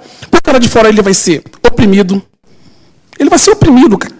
Qualquer funcionário da Light que chegar para conversar com um morador de comunidade, ele vai ser oprimido, gente. Tem que ser sincero. Isso é fato. Nós estamos lá no dia a dia, nós vemos isso. É isso que nós temos que pensar, um meio termo sair para a gente poder chegar e parar com esse negócio de de energia elétrica. E outra coisa, eu vi uns discursos aqui que eu lamento profundamente, que enquanto morador do Rio de Janeiro carioca que sou, de ter ouvido, que é da cidade partida. A todo lugar que eu vou discutir sobre qualquer coisa, eu escuto, no fundo, no fundo, entre outras palavras, a cidade partida. O que, que é favela? O que, que é asfalto? Por que, que morador de favela faz isso, morador de asfalto não faz? Gente, isso, entre outras palavras, é deixar claro que a cidade é cidade partida. Que o morador de comunidade ele faz isso porque é morador de comunidade. E o morador do asfalto faz porque faz. É tipo assim, ah, morador de comunidade é assim. Não, morador de comunidade de, de asfalto é assim. O tom de voz é até outro. Até muda o tom de voz. E isso me deixa muito triste, porque, além de ser carioca, eu sou brasileiro. Isso me deixa muito triste. Ainda vivemos num momento tão difícil para todo mundo, onde a gente encara as pessoas com medo. A gente anda um com medo do outro do lado, assim. Então nós temos que parar com isso, nós temos que começar a mostrar que nós podemos fazer a diferença. E fazer a diferença nesse momento é sentarmos todos e conversarmos. Porque, sinceramente, gente, se a gente for tentar trazer um Estado combalido, uma prefeitura que está começando agora para discutir conosco, nós não vamos avançar, não. Quem está no problema somos nós. A Light, enquanto prestadores de serviço, nós, enquanto consumidores, que estamos sofrendo as consequências. Então, nós temos que sentar e nos resolvermos, senão nós não vamos chegar a lugar nenhum. Essa era a minha fala e muito obrigado, tá, gente? Obrigado, presidente.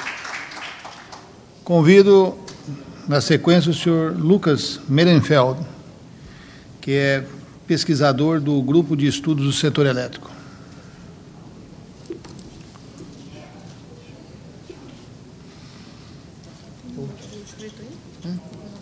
Bom, bom dia a todos. É, como foi apresentado, meu nome é Lucas, eu falo em nome do, do GESE, um grupo de pesquisa que atualmente está fazendo um projeto junto à Light para poder analisar mais com calma essa questão das perdas não técnicas, né, que, como foi bem apresentado pelo rapaz da Daniel, pode ser tanto fraude, quanto furto e quanto problemas de gerenciamento da própria distribuidora, mas que, como a gente pode ver, mais veemente no caso do Rio de Janeiro, a questão da fraude e do furto é muito mais, é muito mais severa, muito mais séria. Então, acaba sendo esse tema que levanta muito esse indicador de perdas não técnicas da Light. É, então a gente está fazendo esse estudo é, junto à Light para entender melhor esse problema das perdas não técnicas. Então a gente vai analisar bem a questão de como como está esse tema no mundo, certo? Na, na, nos países da África, nos países da América Latina, como esse problema de perdas não técnicas está no mundo e como está especificamente mais no caso da Light, quais são as peculiaridades da Light para entender por que que é, o Rio de Janeiro é o estado que tem o volume de perdas não técnicas mais elevado do país inteiro. Por que, que isso acontece?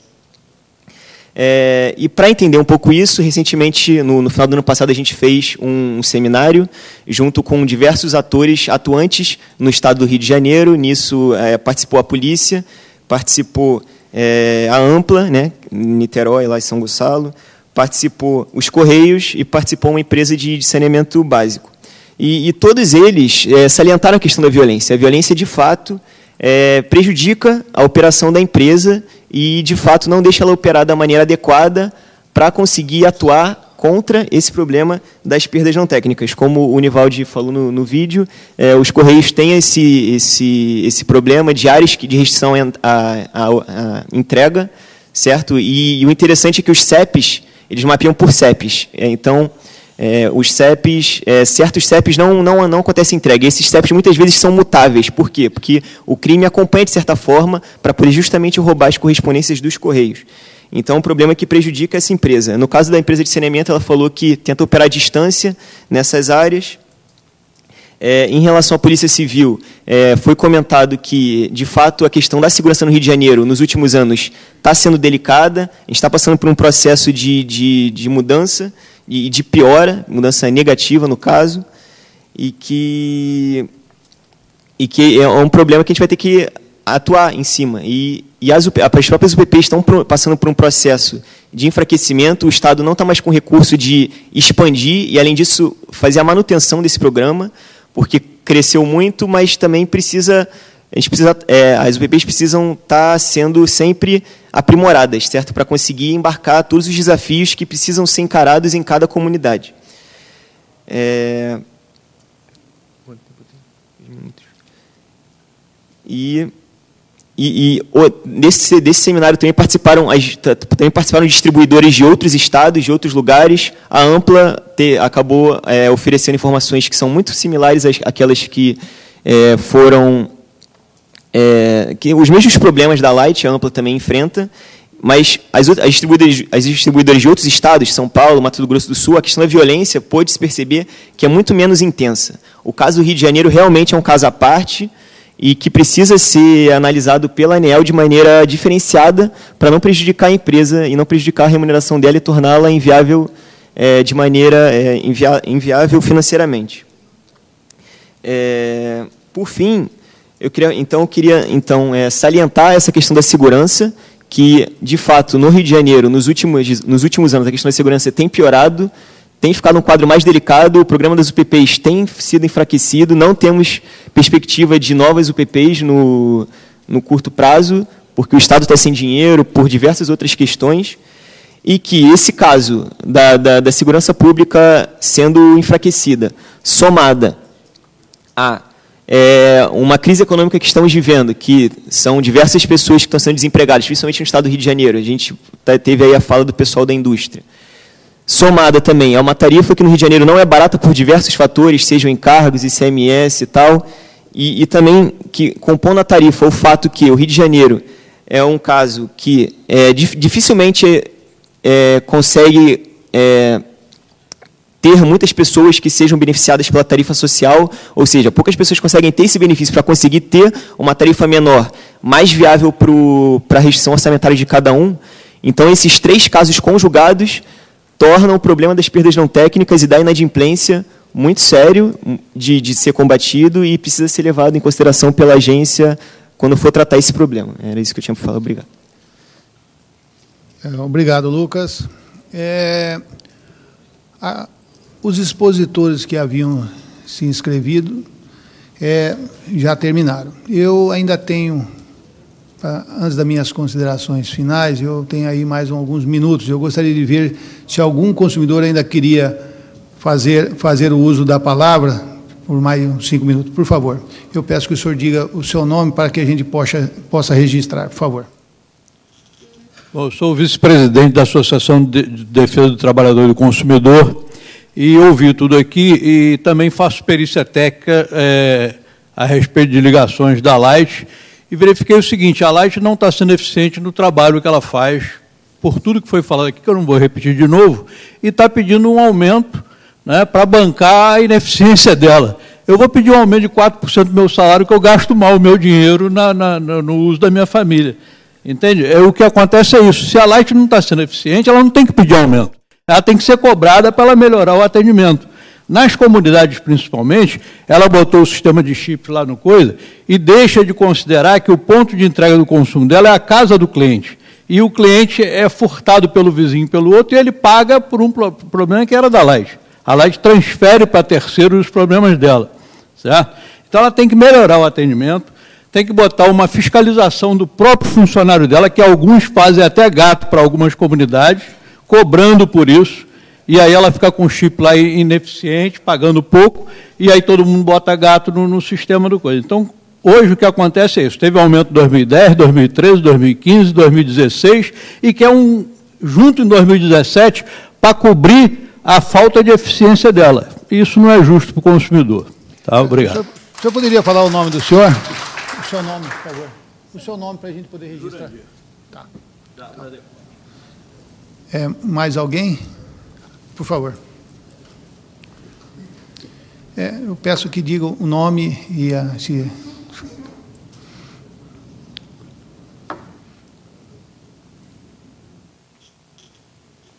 Bom dia, boa tarde, bom dia a todos. Meu nome é Sebastião Benjamin Alves.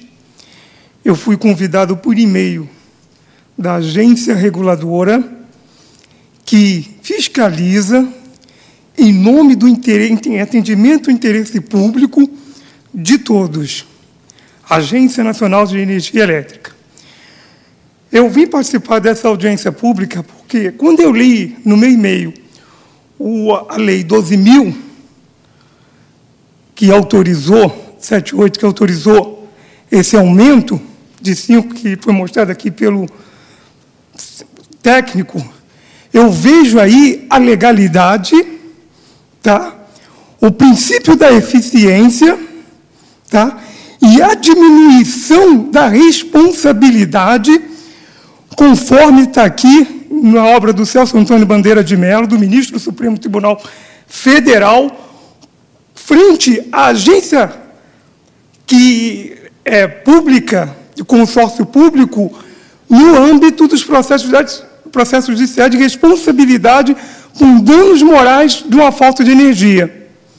O protocolo foi justamente para isso, para mostrar a eficiência da empresa para prestar um bom serviço. E a agência que regulariza, quando ela faz esse aumento e, em contrapartida, determina um serviço de qualidade que ele mostrou, com objetivo, se não cumprir com a eficiência, ter o contrato finalizado, isso é fundamental, ainda mais no Brasil que nós estamos vivendo hoje. Qualidade de vida por cidadão e no combate à corrupção é importantíssimo. A própria Lei 12.211 de 2011, a Lei de Informação de Interesse Público, é importantíssimo para todos. Todos. E tem como a Light seguir com, a, com o artigo 37, inciso 6, cumprir a responsabilidade de fazer um planejamento de seguir o, o, contrato do termo aditivo, aonde ela pode melhorar, fazendo isso aí, parceria com a comunidade, chamando, fazendo planejamento, fiscalizando e investindo. É isso, essa é a minha cooperação. Gostaria de deixar também aqui para o presidente da ANAEL, em nome de todo o interesse público, da comunidade. Tá? Eu atualmente eu moro lá na comunidade do Alemão, na comunidade da Baiana, que ontem houve falta de energia lá, mas a moradora ligou. No mesmo dia a Light voltou com a luz. Eu vi aí uma responsabilidade de que dá para assumir essa responsabilidade e sou a favor desse aumento. Está na hora do Brasil mudar, o Rio de Janeiro ter um serviço de luz de qualidade. Obrigado. Alguém mais gostaria de fazer? Pode fazer, senhor Herman. Tem mais cinco minutos para o senhor.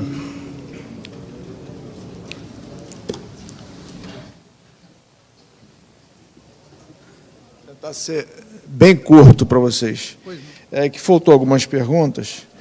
É, quando faz uma denúncia junto à ANAEL, é a segunda pergunta referente à ANAEL, é, existe prazo para lá te responder? Essa é uma pergunta. A segunda, o colega já tinha perguntado, vou ser mais. Vou fazer um aditivo na, na, no colega ali. É, eu gostaria de saber quais os órgãos que foram convidados e que estão presentes. Entendeu? E terceiro, mediante os fatos apresentados aqui, e eu também apresentei, a situação se conta, do qual os senhores já estão, estão cientes, se vier trazer danos materiais ou físico, ou vitimar uma pessoa fatal, a lei tem que ser responsabilidade por dolo. Deixa, entendeu? Só isso que eu deixar claro. Mais nada. Muito obrigado.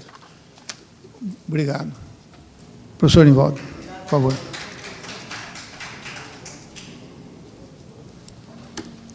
Tem localidades lá com oito dias sem energia. É mais para é, tentar dar um esclarecimento aqui. Eu, eu, eu sou pesquisador, professor do Instituto de Economia da UFRJ e coordeno um grupo de estudo do setor elétrico que esse ano está completando 20 anos. Né? Então, acho que a gente tem que tomar uma atenção muito grande é, é, no sentido de, de, de, entender qual é o problema. Né? Quer dizer, eu tenho uma concessão pública essa concessão pública tem custos, né? e essa concessão pública tem especificidades né, operacionais, como é o caso que está mais sensibilizando aqui. Né? Obviamente, ao identificar esse problema, não, não, se está, é, não, é, não se está acusando A, B ou C. É um problema de uma característica operacional de uma área de concessão pública. Né?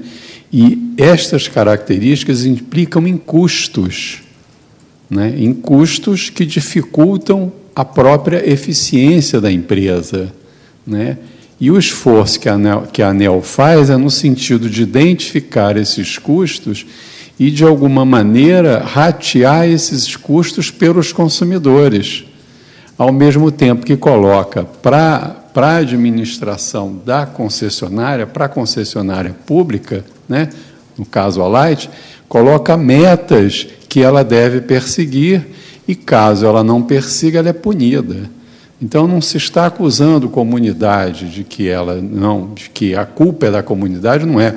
Nós temos uma estrutura social e econômica no estado do Rio de Janeiro, na região de concessão da Light, com características que levam a agência reguladora né, a identificar esses custos e propor o equilíbrio econômico-financeiro através das tarifas, através das tarifas, da tarifa e colocando para os próximos quatro anos metas de desempenho. Dizer, então, por um lado, não se acusa a comunidade, é um, é um fato que o Rio de Janeiro tem, que outros estados têm, é um fato, e que não, vou, não vai ser a Light que vai resolver esse fato, não vai ser a Light que vai resolver esse fato ela, ela é sujeita a este fato e a agência reguladora tem que fazer este equilíbrio do ponto de vista é, tarifário, que é a maneira que ela tem de, de estabelecer isso. Esse é, é o problema. Uma empresa que tem mais de 100 anos, se me falha a memória, 111 anos, que é uma empresa tradicional no país, tradicional no Rio de Janeiro, um Estado que sofreu transformações que afetou a sua base econômica e a sua base social e que a, e que a concessionária é sujeita a essas transformações. E que a maneira que o Estado tem frente a essa concessão de equilibrar o funcionamento dela é através da tarifa.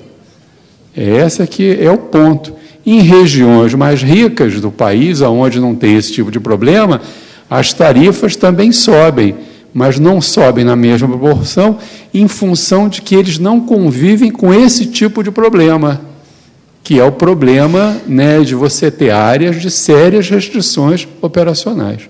Só queria dar um pouco esse esclarecimento e agradecer essa possibilidade, enaltecendo a atuação da agência reguladora de criar esse espaço de diálogo e de transparência que, que a faz a nossa agência uma das melhores do país em termos de agência reguladora de serviço público. Obrigado.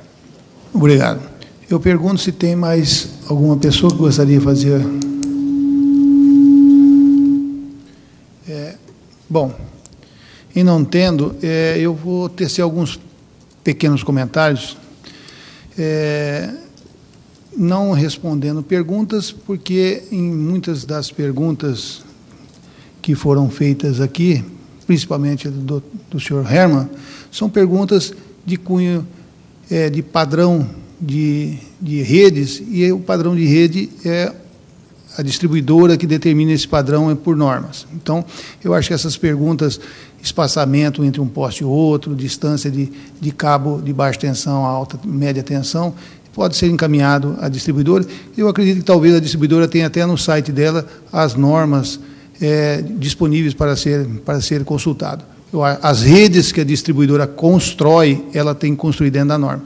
É, é, é bem claro, isso em qualquer distribuidora, eu, eu quero, não, não, é o caso da Light, qualquer distribuidora no Brasil que construir rede, ela constrói dentro de uma norma. Se um terceiro construir uma rede, a revelia da distribuidora, sim, aí não vai ter, não vai ter o padrão, talvez, da distribuidora. Mas é, a questão, o senhor fez um, uma pergunta a respeito de indicadores, se eles são verdadeiros. Os indicadores que a ANEL apura, porque são indicadores é a ANEL que apura os indicadores mediante informações da distribuidora, é, eles são coletadas é, de um sistema que é auditável, né, pela agência, é obrigação que aquele sistema do call center, da qual chegam as reclamações e dá início e quando encerra, ele tem que ser auditável. Então, é, a gente parte do pressuposto que um, um, sistema auditável, ele é um sistema que está sendo informado de forma verdadeira, porque em caso não sendo no, a resolução 63 da ANEL, que é uma resolução que, que ela faz, é, aplica as penalidades, tem, tem um item muito específico, informação falsa ANEL é um dos itens mais graves que tem. Então, nenhuma distribuidora, em sã consciência, gostaria de fazer uma informação falsa. A agência, já visto, ela saiba é, da, das consequências. Então, é, a questão de é, prazos que o senhor perguntou, na resolução 414 tem todos os prazos que a distribuidora tem que seguir, tanto para atendimento, numa religação, de consumidores que, que são consumidores da distribuidora. Tá?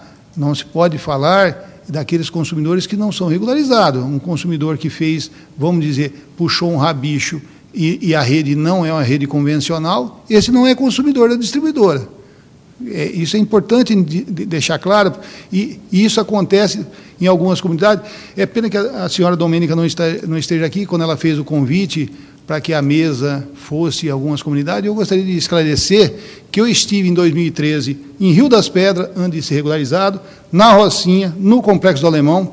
O ano passado eu estive em Duque de Caxias, São Gonçalo, com, a, com as distribuidoras. Então eu conheço um pouco da realidade de, e da dificuldade das comunidades. Lógico, tem todas as dificuldades, como bem disse é o, o professor Nivaldi, é uma questão social e não é ANEL e nem a Light que vai conseguir resolver isso.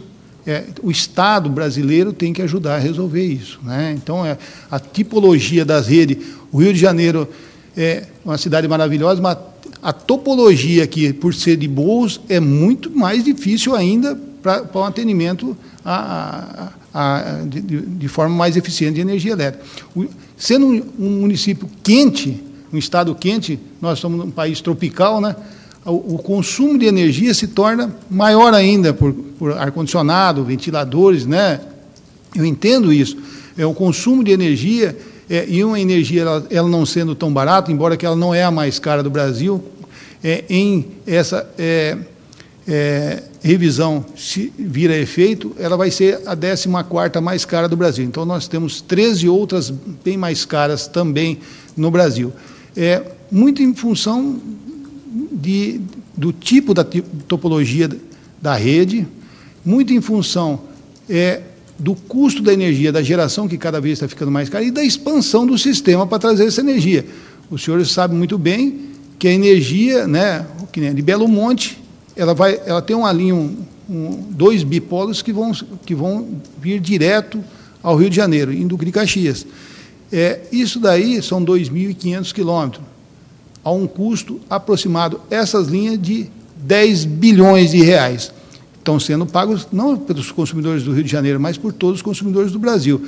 Mas é, por, as, por as usinas nossas é, hidrelétricas serem cada vez mais longe, se torna um pouco mais caro, não tenha dúvida disso. Né? Nós temos é, é, sã consciência e a ANEL tem uma preocupação enorme com a questão do aumento de, do custo, sabedora do, das dificuldades do povo brasileiro. Né? Eu também sou consumidor, né? todos que estão aqui são consumidores, e, e, nós pagamos a conta de luz e não é barata, a gente sabe que não é barata. Mas o mundo de hoje não tem como ficar sem energia, em hipótese alguma. Né? né? Agora, eu gostaria também é, de, de conclamar a, a Light a respeito desses, dessas demoras. Né? Eu acho que é, todas as comunidades falaram sobre quatro dias, três dias, cinco dias. Então, é, isso, isso é, é uma preocupação. Eu acho que, com certeza, a Light tomou nota, mas nós tomamos nota de todas, de todas as áreas aqui, nós vamos repassar isso para a Light. Tá? A questão da Light, da resposta, quando, quando se faz um, uma, uma reclamação à ANEL, ela tem prazos para responder à ANEL, tá? porque quando, quando, quando, quando um consumidor faz uma, um questionamento no call center da ANEL a respeito de uma, de uma, de uma numa informação que não foi dada para a Light, nós acolhemos ela, só vou dizer a metodologia, nós acolhemos ela e, e, e a Light a resposta, porque na verdade nós não temos a resposta, quem tem que dar a resposta é a própria distribuidora, que que nós entendemos que, em última instância, ela teria que já ter dado essa resposta ao consumidor lá, que era muito mais ágil. Mas aí ela tem um prazo, tem a área de ouvidoria dela, é, ela tem um prazo para dar resposta à ANEL e a ANEL também dá uma resposta ao, ao consumidor. Se satisfeito ou não, se o consumidor não, entende, não estiver satisfeito, nós voltamos a conversar com, com a distribuidora. É. Então são 10 dias, 7 para a distribuidora e 3 para a ANEL. Tá? Não, ele tem que ser é, avisado pelo consumidor pelo canal da ANEL. Não, quando, quando ele reclamou para a ANEL, tá? Isso, quando ele reclamou para a ANEL. Então a ANEL é, viu, viu o nosso sistema que, que informa. A ANEL, não, ela pode continuar com o mesmo, com o mesmo protocolo. Não tem problema nenhum, tá? É, agora, ele tem que motivar a insatisfação dele. Não satisfeito por não satisfeito, se é uma questão legal, é, aí, aí é difícil, né? Porque às vezes a resposta é aquela que tem que ser dada com base legal. Aí o consumidor, mas eu não estou satisfeito. Não, mas aí, aí é complicado, né? Você entendeu? Sim, tá? É, foi questionada também a questão de, de, de a polícia aqui. Não, a ANEL não entende que, que nós estamos tratando de revisão tarifária da distribuidora, nós não temos que tratar de polícia. Hum, é, o ambiente é pacífico, nós não temos isso, né? Nós não que... Aliás, em momento nenhum nós temos que trazer força policial para tratar em, em, eventos da ANEL. O dia que nós tivermos que fazer isso, nós não mais faremos, porque é, a preocupação nossa é realmente, nós todos brasileiros somos ordeiros, partimos desse princípio. Né? Eu acho que a, a força policial tem que ser ouvida no âmbito dela, não no âmbito da ANEL, no, na questão de, de, energia elétrica, até porque nós queremos que todos os consumidores tenham energia elétrica, né? não com a força policial andando junto. Isso para nós é, é péssimo. Tá? É, e reitero aos senhores que é, todas as, todas as é, é informações que aqui foram prestadas, é, queixas, elas serão tratadas. Tá? A distribuidora, inclusive, ela falou no início, eu, eu por falha minha, não disse, ela, ela tem uma, uma equipe aqui para tratar de, de assuntos diversos. É, é, se, se, algum dos senhores quiserem fazer uso, né, numa sala ao lado aqui, acho que é, se não me engano, a sala Urca, né, foi uma falha minha, é, é, isso eu peço desculpa aos senhores, praticamente no final da coisa que eu aviso que tem uma, uma, uma sala, mas, mas nunca é tarde, é, se precisarem, estão à disposição. É, a forma de, de, dessa audiência pública, ela em princípio não seria isso que eu estou fazendo ao final, que a ANEL não faz, mas nós estamos mudando a forma de audiência pública também. Então, por nós estarmos alterando, ou seja, vamos ter um, um diálogo maior com a, com a sociedade, não só ouvindo, também dando resposta naquilo que a gente conseguir naquele momento dar resposta. Se a gente não conseguir naquele momento, é, acolhemos o questionamento, pegamos o endereço daquele, daquele cidadão voltamos para casa e fazemos o nosso trabalho e, e prestamos a informação. Então, é, essa metodologia nós estamos é, implantando por completo a partir da, da próxima audiência pública. Infelizmente, não, nesse momento não é na Light, vai ser na CELP, mas é uma grande distribuidora também que tem, tem problemas bastante parecidos com, com o que a Light tem. Lógico, talvez não tenha um nível de, de complexidade, eu acredito que não tenha, mas é, tem, tem bastante problema também, porque é, esse problema de, de, de diversidade social é, nós temos no Brasil todo. Né? Então, eu, mais uma vez, gost, gostaria de. Qual?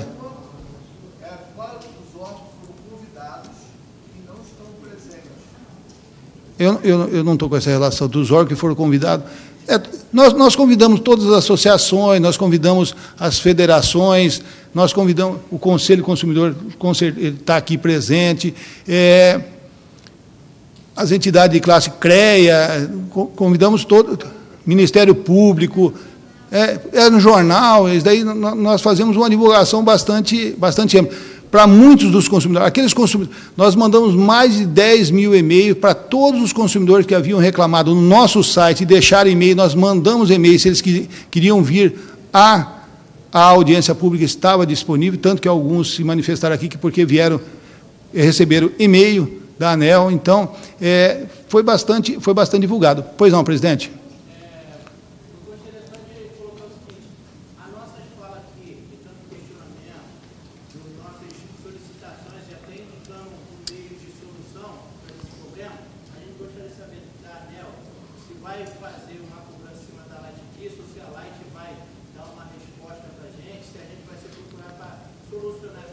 É, eu, eu, eu, notei bastante na fala de vários presidentes aqui que eles gostariam de, de, conversar mais com a Light. Eu acho que isso daí, a Light, em hipótese alguma, pode se furtar disso. Né? E, e, e aliás, nunca se furtou. É, se está tendo alguma falha, eu acho que a, a presidente está aqui, ela, ela tá, vai com certeza procurá-los e, e, entrar em contato a esse respeito. Né?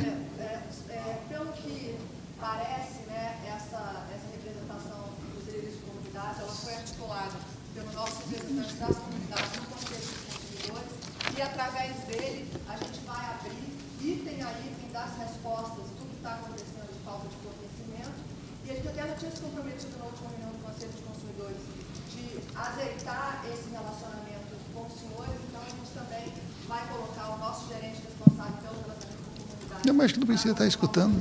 É para gravar, né? Então dá para.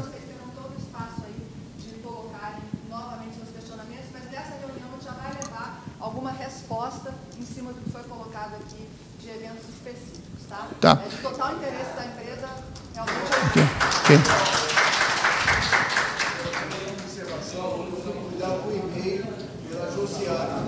Ok.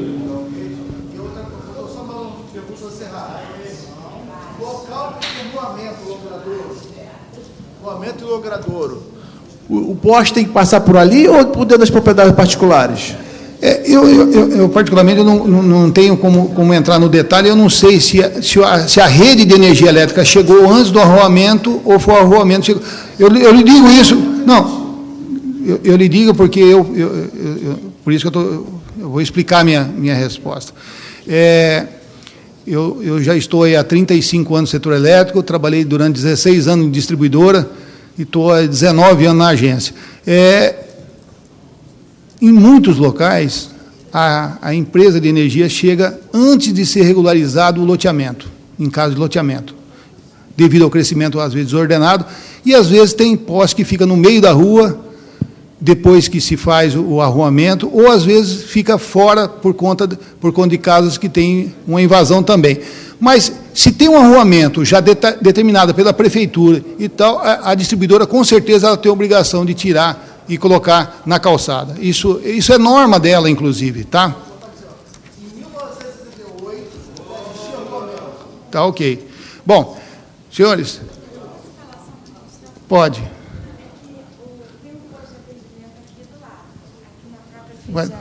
Então, acredito que os senhores, todos que tiverem questões específicas que já tenham sido tratadas aqui com a ANEL, ou questões adicionais que possam ser tratadas, sejam colocadas nesse posto de atendimento que está aqui, que a gente vai fazer ah, não só o, um feedback, né, uma resposta às pessoas que colocaram as reclamações, como daremos também um relato à ANEL de tudo que a gente respondeu. Acho que a gente pode fazer assim para não precisar aí o doutor Jurosa é, participar aqui de todas as discussões necessárias nesse momento, tá bom?